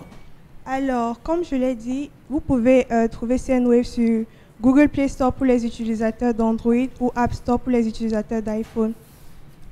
Et euh, ensuite, vous téléchargez l'application. La deuxième chose à faire est que vous entrez le numéro du portable, le nom du destinataire, ainsi que le montant que vous souhaitez envoyer. Troisième, il ne faut pas oublier d'utiliser le code promo Equinox afin d'être enregistré pour gagner 200 dollars.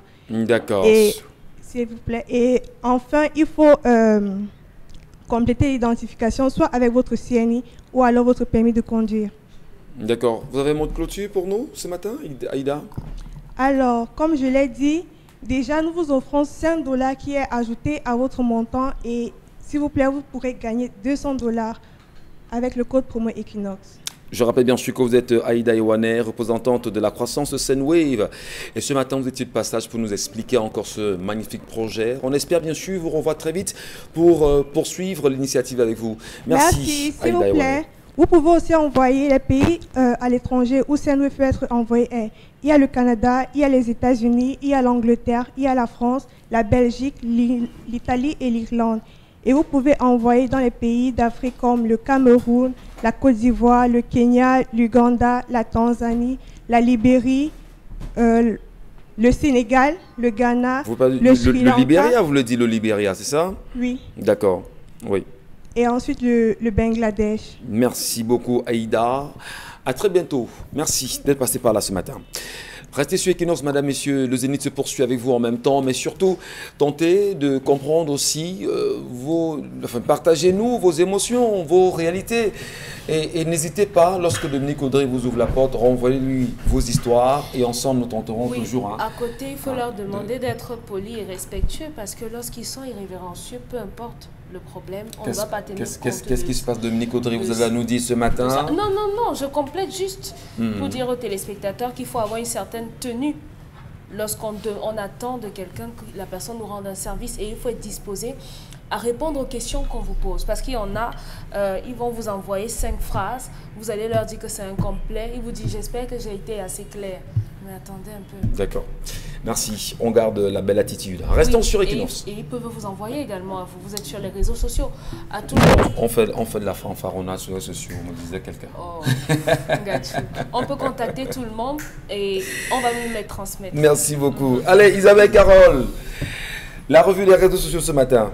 Revue des réseaux sociaux, c'est ces images, bien sûr, des populations au quartier Mabanda, c'est dans le quatrième arrondissement de la ville de Douala. Ces images, bien sûr, qui font le tour. Ces populations, bien sûr, qui sont assoiffées. Ces populations, bien sûr, qui ont besoin d'eau. Regardez des conditions dans lesquelles euh, de ce côté-là, l'entente de se ravitailler dans un environnement plutôt aussi installé. On peut d'ailleurs observer en image la qualité de ces eaux. Et il faut bien savoir que on parle d'abord la denture qui s'est fissurée et maintenant les populations qui sont obligées donc de venir de la sorte pour pouvoir bien sûr étancher euh, leur soif, bien évidemment consciente de tout l'environnement insalubre qui pourrait être à l'origine de pas mal de maladies hydriques à l'heure où, bien sûr, au Cameroun, le choléra refait surface. On se pose bien des questions concernant ce pays. Les images, euh, à l'instant, c'est au Cameroun ça Oui. À Mabanda Oui. Dans le 4e arrondissement voilà, capitale et Il y a un maire là-bas, il y a un maire là-bas. Il y a un maire là-bas. Il y a un maire de la quatrième. Non, non, je pose la question, c'est qu'il y a un maire. Est-ce que le maire est au courant qu'il a été élu pour pouvoir résoudre les problèmes des populations comme c'est le cas en ce regarde ce programme, ça veut dire que le maire regarde également ce programme. Adressez-vous même, Ben, il y, a, y, y a quand même les conseils municipaux là-bas. Il y a un maire là-bas. Oui, j'ai dit qu'il y a les conseils municipaux qui sont autour du maire, qui voient comment les populations de Mabanda n'arrivent pas à avoir de l'eau, l'eau simplement, pour ce qu'on a à l'image ce matin.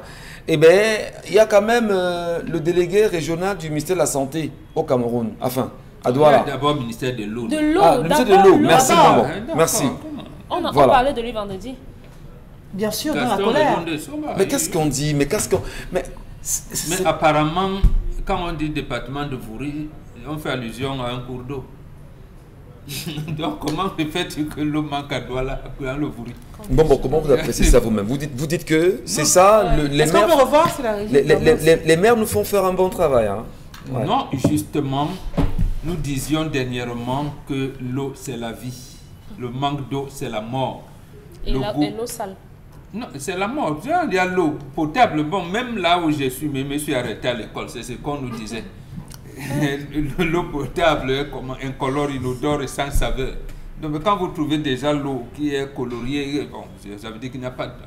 Non, ça veut dire qu'en fait le gouvernement a pris l'engagement de procéder à l'assassinat collectif des populations. N'ayons pas peur de mots. N'ayons pas peur de mots.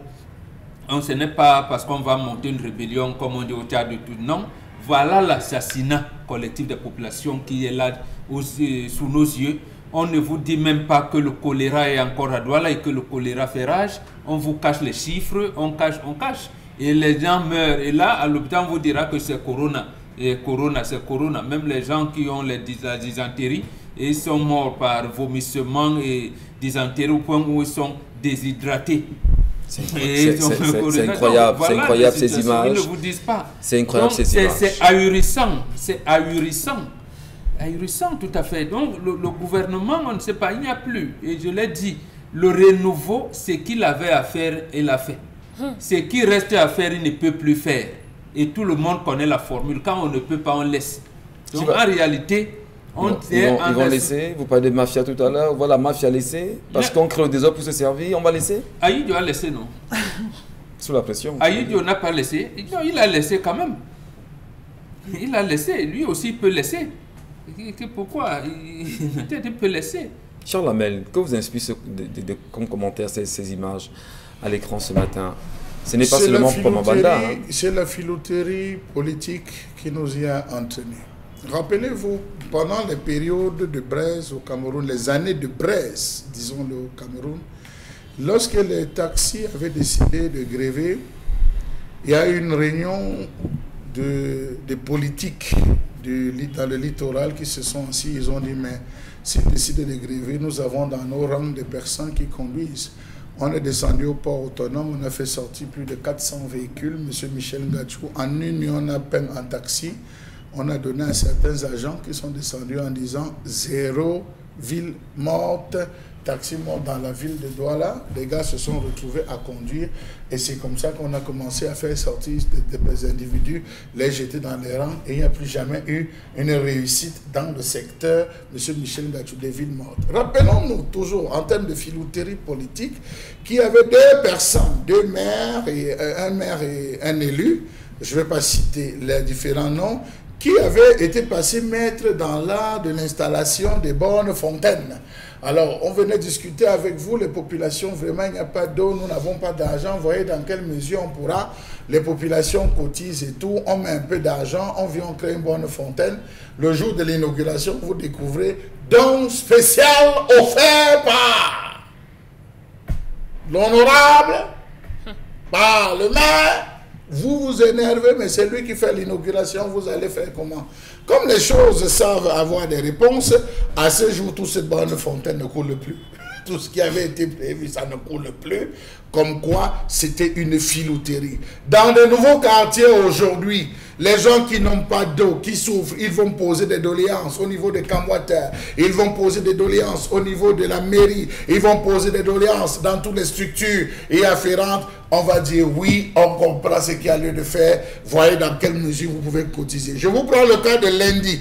À lundi, Monsieur Michel Ngachou, est-ce que vous savez que l'énergie n'est pas encore arrivée et qu'on a demandé aux populations qui veulent la lumière de cotiser? C'est vous qui cotisez pour votre bonheur, Monsieur Michel Ngachou. C'est vous qui cotisez pour votre bonheur Voilà dans le quartier. Oui, vous c'est On a pas- demandé, voilà, on a demandé aux populations et ils ont cotisé pour qu'on vienne mettre un transformateur. Vous parlez de, vous parlez de J'ai pris le cas, n'est qu'un cas. Je vais revenir à ma bande. Il y en a plein, il y a, Oui. ça a été conçu comment Alors- En fait, dans le, le- ce que Charles Amel veut dire, dans la politique de- d'urbanisation, pour créer un quartier, on fait d'abord la voirie, on fait des routes, on met la connexion d'eau et l'électricité Électricité. et on demande après, c'est après qu'on demande aux populations d'acheter D'acheter les lots. les lots. Et les lots, généralement, on vous dit 400 mètres carrés, 500 mètres carrés, ainsi de suite, et vous allez acheter les lots après avoir viabilisé l'endroit. C'est la que qui fait pas son on travail, alors c'est- la pas qui fait son travail Non, non, c'est l'État, c'est pas la maïtude qui fait partout. Mais quand l'État, par exemple, regardez comment il a s'est fait lundi, vous, vous venez acheter votre 400 mètres carrés à côté de mien, vous dites, je vais mettre une poulailler. Alors que vous, vous mettez une maison d'habitation. L'habitation. Donc, regardez donc, monsieur Michel. Et il n'y a pas d'eau, il n'y a pas le, le courant électrique. Comment les gens qui sont arrivés à Bépan, à Mabanda, qui se sont installés, ils sont allés rencontrer la mairie. Voilà, la mairie a dit que vraiment, nous sommes sous budget programme, tout est coordonné, concentré, on ne peut rien faire. Ce n'est pas là. Essayez de voir, vraiment, on va voir comment, dans quelle mesure on peut vous accompagner. Les populations dans cette zone, 5, 10, euh, 8 pâtés de maison, ils s'associent, ils lancent un forage, ils cotisent, ils lancent un forage, ils mettent des canalisations. Voilà comment les gens vivent à Mabanda. Pour les pauvres, les pauvres sont obligés de survivre là. Vous parlez la dernière fois des tuyaux qui étaient cassés. Était-ce un tuyau cassé là où les enfants vont Oui, se ravitailler C'est un tuyau cassé. Ils vont se ravitailler à ce tuyau. Tant pis, à qui mieux mieux. Donc j'estime que c'est de filouterie. Parce que le drame, c'est que quand les gars font les bilans de fin d'année, d'exercice, on met vos projets que vous avez réalisés, on le met dans les, les- les victoires de la mairie, alors que la mairie en rien n'a participé dans cela. Merci. On a parlé d'Ayato. Ayato à quel niveau? Jusqu'aujourd'hui, on vous coupe 2, 3, 4, une semaine de l'eau. La zone de bébé cité. Cité Sig euh, euh, Cité n'a pas d'eau. Euh, Cité les palmiers. Eh, monsieur Michel. Merci beaucoup, cher. Monsieur Michel. Merci, merci beaucoup Isabelle, euh, Dominique Audrey. Euh, la question de l'eau continue de se poser aujourd'hui. Et on regarde ces images du quartier Mabanda, euh, qui n'est pas très loin de Bonavéré aujourd'hui. Euh, Qu'est-ce que les peuples... Moi, j'aime toujours à Il y a un château d'eau. Je pose toujours la question. Gachou. la bonne question. Non, on a un château d'eau à. Non, Le château d'eau est gâté. Si c'est défectueux, posez les bonnes questions. Est-ce que les populations... Non, au-delà au -delà de la question que vous posez, si le château d'eau est gâté ou pas, je voudrais qu'on s'en- qu'on s'accorde. Quel est ce peuple camerounais? Je repose encore la question, je pose chaque matin. Quel est ce peuple camerounais conscient des manquements du Vous gouvernement vont aller dans la rue Non, je n'ai pas demandé à qui que ce soit d'aller dans la rue. Mhm. Quel est ce peuple camerounais conscient des manquements du gouvernement camerounais Mhm. Ne s'offusque pas, ne s'indigne pas, reste tranquille. Qu'est-ce qu'on a fait de cerveau des Camerounais? Parce que regardez ce qui se passe Banda. Les enfants tomberont malades demain. Les mêmes parents vont courir dans les hôpitaux et qui n'ont même pas d'argent ne seront pas bien suivis, seront méprisés dans les hôpitaux. après, ils vont Et, mourir. et- et ils vont mourir justement de ce qu'ils boivent comme. Regardez ce qu'on voit à l'image. Mais quel est ce- qu'est-ce qu'on a fait au peuple camerounais pour en arriver là quand même? On ne veut pas s'indigner. Que, que vous, vous au quartier, vous voyez ça, même le chef de quartier, vous n'allez même pas le voir pour dire, monsieur le chef de quartier, regardez ce qui se passe. Nous commençons la rébellion à notre niveau. Moi-même, l'eau là-bas. Mais c'est incroyable. Qu'est-ce qu'on a, a fait au peuple camerounais? on a envoyé le peuple camerounais au bar et dans les églises. Donc, en- enlevez-les, fermez les bars et les églises. Le peuple sera conscient de la situation. et va D'ailleurs, on l'a vu- on l'a vu Moi, droits. je trouve justement. que le peuple est conscient mais impuissant. Impuissant avec quoi Vous êtes le peuple, vous êtes puissant. Mais ils sont en train de prier. Vous êtes le peuple, vous c'est êtes Dieu puissant. Vous êtes le peuple, c'est vous qui décidez en réalité. Vous êtes le peuple, c'est vous qui avez la parole. Vous êtes le peuple, c'est vous qui avez le La dernier mot. Il faut bien sûr le dire aux Camerounais. La personne qui fait les images est en train de protester d'une certaine façon, en mettant ce, ce- ce qui se passe à nu. Maintenant, le relais doit être pris. Le relais doit être pris par d'abord, euh, euh, s'il y a les députés dans la localité là-bas, qui prennent les choses à bras le corps, qui sortent, parce qu'on les voit faire des, des, communications pompeuses là sur les réseaux sociaux, sur les sujets vides et Ah, qui ne servent à rien. français là. alambiqué. Voilà donc un problème sérieux. Vous avez vu comment, là où ces enfants, vous avez vu l'eau qui passe à côté. De quelque façon que ce soit, il y aura des gouttes de cette eau sale dans l'eau à boire. C'est, En tout cas, Isabelle Carole, poursuivons. Oui, on va poursuivre la revue des réseaux sociaux. Vous ne le savez peut-être pas. Oui, le paludisme tue plus que le Covid-19 au Cameroun. Oui, on parle bien évidemment de 4121 décès enregistrés rien que pour l'année 2020 au Cameroun de personnes qui soient donc décédées de suite euh, de palud, en majorité des enfants âgés de moins de 5 ans qui meurent donc ainsi. Et le Cameroun a enregistré donc 600, euh, 646 139 cas de paludisme pour le seul compte de l'année euh, 2020. Euh, hier encore, on célébrait justement la journée de lutte contre le paludisme avec pour thème Zéro palu 25 avril. Oui, oui, 25 avril, la 14e journée Oui. de, de lutte contre le, le paludisme. Voilà, zéro palu, euh, tirer un trait sur euh, le paludisme.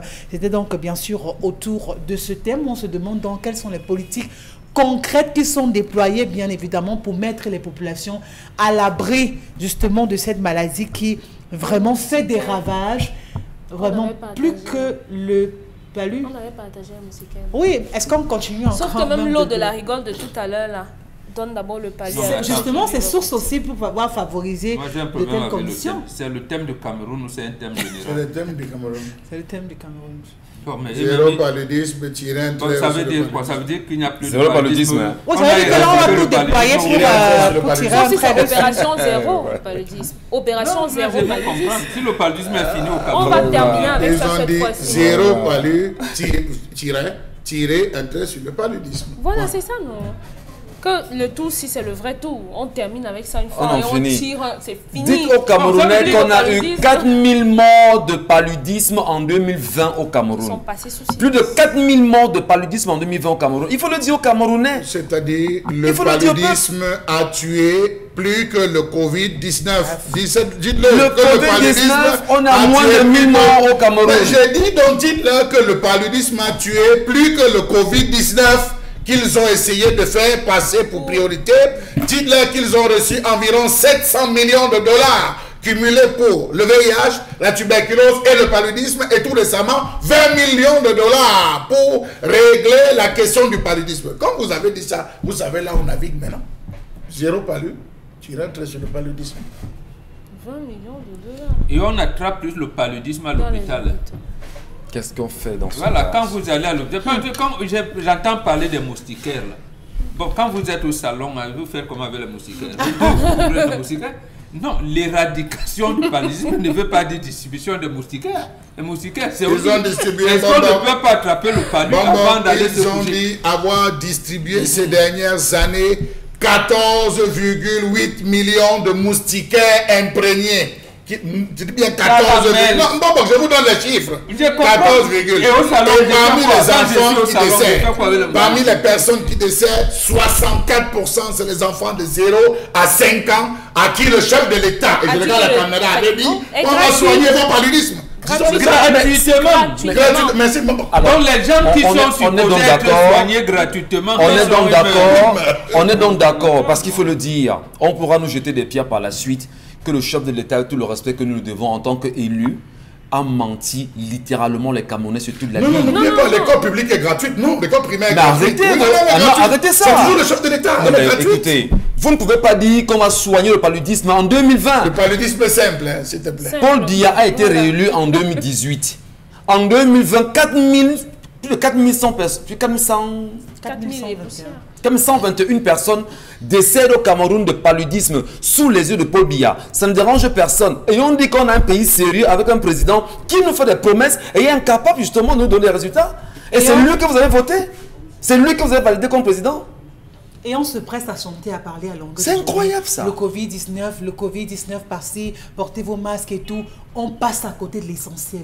Entre-temps, on a 4000, euh, plus de 4000 décès enregistrés. Oui. On a vu la sortie pompeuse du ministre de la communication, du ministre de la Santé hier, qui est revenu hier, fait une espèce de communication pour euh, rassurer les gens. Mais, mais c'est qu'il y a 4000 morts. Ça veut donc dire que pendant... C'est plus que la guerre dans le nozo Ah, pendant qu'on y est là. la- L'année dernière, Monsieur Michel, en, en termes de statistiques, ça fait 101 morts pour 1000 Camerounais.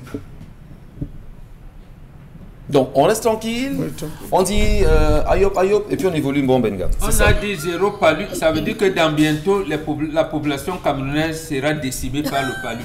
Donc quand on, On sera tous morts, il n'y aura plus de palu. C'est ce que ça veut dire. Dominique Donc Otto. il y aura un paix de cimetière. Oui. Et au cimetière, il y a la paix. Oh, tout le, tout le monde est mort. ça veut simplement dire que toutes Attends, personnes... attention, attention. Il faut dire aux Camerounais qui disent que Ngachou, moi on est déjà mort. Oui, on est Non, mort. moi je suis déjà mort, donc moi je considère que Vous je vis eu pas. le palu Non, parce qu'il y a disent que monsieur, tu peux avoir tes enfants grandis, nous on est déjà mort, nous on estime qu'on vit. Parce que ce qu'on explique ici, c'est qu'on est dépassé. Quel est ce pays-là? Vous croyez que bon, comme des gens ont de l'argent, les gens sont bien positionnés, on ne peut pas se taire devant cette cruauté. 4000 personnes décèdent en 2020 an. de paludisme en une année. On n'a même pas encore les stades de Et c'est à 2021. ce moment Oui, c'est à ce moment que le gouvernement a envoyé les gens détruire les champs d'Artémisia. C'est incroyable. Que Non, ils, ils ont oublié que de mentionner ça. Il faut rappeler ça, monsieur le ministre de la Santé que publique. Vos collègues ont envoyé les gens détruire les champs d'Artémisia à l'ouest. Mais vous savez, non, non, c'est c'est quand même énervant. C'est incongru. Dans les années 80, 90, on a vu, monsieur Michel Ngachou, les agents de la santé avec les agents des communes passer dans les quartiers avec les pieds pomper les produits, ces fumées-là. On disait sortez des maisons, c'est le programme tel. Pompe, on pompe, on pompe, on pompe. Trois mois après, ils reviennent, on pompe, on pompe, on pompe. Aujourd'hui, c'est devenu les maires qui sous-traitent. Quand on arrive, on dit vous payez 500. 500 On pompe un peu, vous payez 1000 francs, on pompe beaucoup, vous payez 3000, on vous pompe le genre de produit qui va faire 3 mois.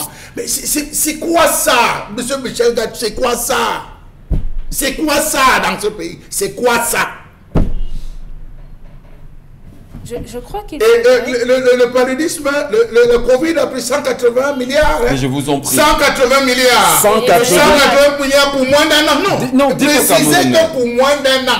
Dites- 180 milliards pour moins d'un an. Dites Camerounais. Alors que le paludisme qui fait tous ces ravages, mais c'est quand même. Dites, ben écoutez, on, on est peut-être sans voix, C'est- Charles, c'est parce que là, c'est au- au-delà d'être énervant, c'est qu'on se demande qu'est-ce qu'on peut faire? Là, la question est générique. Et on parle en regardant les Camerounais en disant est-ce que le Camerounais lui-même n'est pas complice de ce qu'il se passe? Hein? Il y a eu 4121 enfants décédés en 2020. Plus que la guerre dans le, dans, dans- dans le Nozo aujourd'hui. Regardez, plus que bon, je je sais que les, les chiffres ne sont pas très loin de là. Monsieur Michel c'est un enfant qui démarre le pas, qui commence le paludisme à 7 heures, il n'est pas sûr d'atteindre 20 heures. À tout moment, un enfant passe du vert au rouge. Est-ce et que au- Malachi, au moment où nous parlons, ne devrait vraiment pas honteusement démissionner Est-ce que le, le- le- le vaccin contre la tuberculose est déjà là? Est-ce que la priorité c'est le Covid? C'est la Covid ou le- la Covid La, la priorité c'est à ce La niveau-là priorité, qu'on c'est a- toutes ces maladies. Mais on doit souvent tr- trouver Oui, mais, les milieu. 180 Trouver milliards une que vous sorte avez de bloqués d'équilibre. en plein dents, vous pouvez l'injecter que au moins pour soigner les enfants de. de- À de- ce de- moment, de- de- de- maintenant, Michel C'est Gachou, c'est pas possible. tout ça ne sert plus à rien. Comment on fait pour sauver les autres enfants? C'est ça le, il y a le l'Artémé- combat il y a l'Artémésia, mais ils ont détruit l'Artémésia. On fait comment? On va, on va devoir trouver des solutions. Il faut que euh, euh, Madeleine Chuente sorte de sa réserve. Elle vous a dit que. Non, on peut soigner le paludisme naturellement, pain bonbon, sans avoir besoin des comprimés qui nous viennent Est-ce que vous d'ailleurs. avez dit qu'elle est avec vous? Elle n'est pas avec nous. Est-ce que vous avez dit Mais qu'elle est elle ne veut pas Et faire vous voulez seulement que ce soit Manaouda qui démissionne Mais sont, et et s'il te plaît, ils ont des budgets, hein, votés par l'Assemblée nationale, retenus et va- validés par les députés le de la nation. hein. le reproche qu'on peut faire au ministre de la Santé, c'est que pendant toute l'année dernière, il n'a parlé que de Covid-19, a laissé croire que toutes les autres maladies qu'on peut avoir au pays n'existaient pas. C'était que le ministère de la Santé du Covid au Cameroun. Conséquence, on a abandonné un autre pan. Et ça, malheureusement, il va devoir l'avoir sur sa conscience parce qu'on peut dire que ces personnes ont été Je vous dis, abandonnées allez à voir la communication que le ministre de la, de la Santé a fait hier. Allez l'écouter. Vous comprendrez justement que on, il- toute une mascarade alors que les chiffres sont là. Sauf que maintenant, l'heure est à, est à l'action. Qu'est-ce qu'on fait maintenant? Comment on soigne les autres enfants? Comment on prend en charge les Camerounais? Parce qu'il est clair que la moustiquaire, même Momoka dit que lorsqu'on est le soir au salon, on regarde le 20h, ça n'est de part. Il faut pulvériser comme Charles Il y a des méthodes. Monsieur Michel Gatchou, nous avons des stratégies. Nos parents avaient des stratégies. C'est-à-dire, lorsqu'on entrait dans la maison, il y avait la commode qui n'était pas très loin de la cuisine, où papa faisait tremper son aloe vera, son kinkiliba. Mhm. Dans le vendredi, il a dit, messieurs, rapprochez-vous de moi. Tout le monde a dit. Tout à fait. un, goût amer. Un goût amer. Attendez, je chute monsieur Michel pour vous rappeler que ils nous ont interdit, l'OMS a interdit le traitement préventif en disant pour éviter des complications et des récidives, laissez le palu déclencher en vous. Alors que l'OMS ah. dit prévenir vos mieux que guérir. Mais on a demandé de laisser pour le paludisme. Tuez-vous d'abord. Le palu déclenche d'abord. Or, on avait un système préventif qui faisait en sorte que vous avez un enfant de 10-15 ans, l'enfant ne se couche pas. L'enfant suit les doses. On dit non, c'est devenu très... Puisqu'en fait, le, ah. le, développement du palu suit un cycle le plasmodium nourrit, c'est nourrit et se transforme. Ça, ça passe par le foie, le sang, ainsi de suite. Merci, merci Bonbon, merci Dominique, merci euh, Charles Membattu, merci également aux nombreux euh, Camerounais qui nous regardent ce matin. Et on va certainement terminer l'émission en saluant, je vais dire quelques-uns, c'est une permission. Clément Ngebnan, Max Begeni, euh, Clément Ngebnan de la ville de, de Krefeld, euh, Max Begeni de Melium et Thomas Kam de Bochum. C'est des Camerounais qui nous regardent en Allemagne et qui chaque jour nous regardent avec beaucoup de fierté. Je voudrais ici saluer également toute la grande famille pour le prix qui m'a été décerné hier, avant-hier, à l'occasion euh, des, récompenses euh, médiatudes pour ceux qui ont choisi, bien sûr, de poser leur regard sur ma modeste personne concernant le prix du meilleur animateur de l'année. Je voudrais humblement vous remercier, remercier les organisateurs et surtout saluer infiniment, on va dire, la chaîne du peuple qui nous donne l'occasion d'exister. Saluer bien sûr le top management qui nous donne l'occasion justement de faire ce que nous aimons faire au quotidien. Merci à Médiatude, merci au public. merci à vous. Allez, tout le, monde, tout, le monde, tout le monde au restaurant. La suite Tout le monde au restaurant. Voilà. Allez, merci. Y compris l'équipe technique, tout le monde au restaurant. Allez, à demain.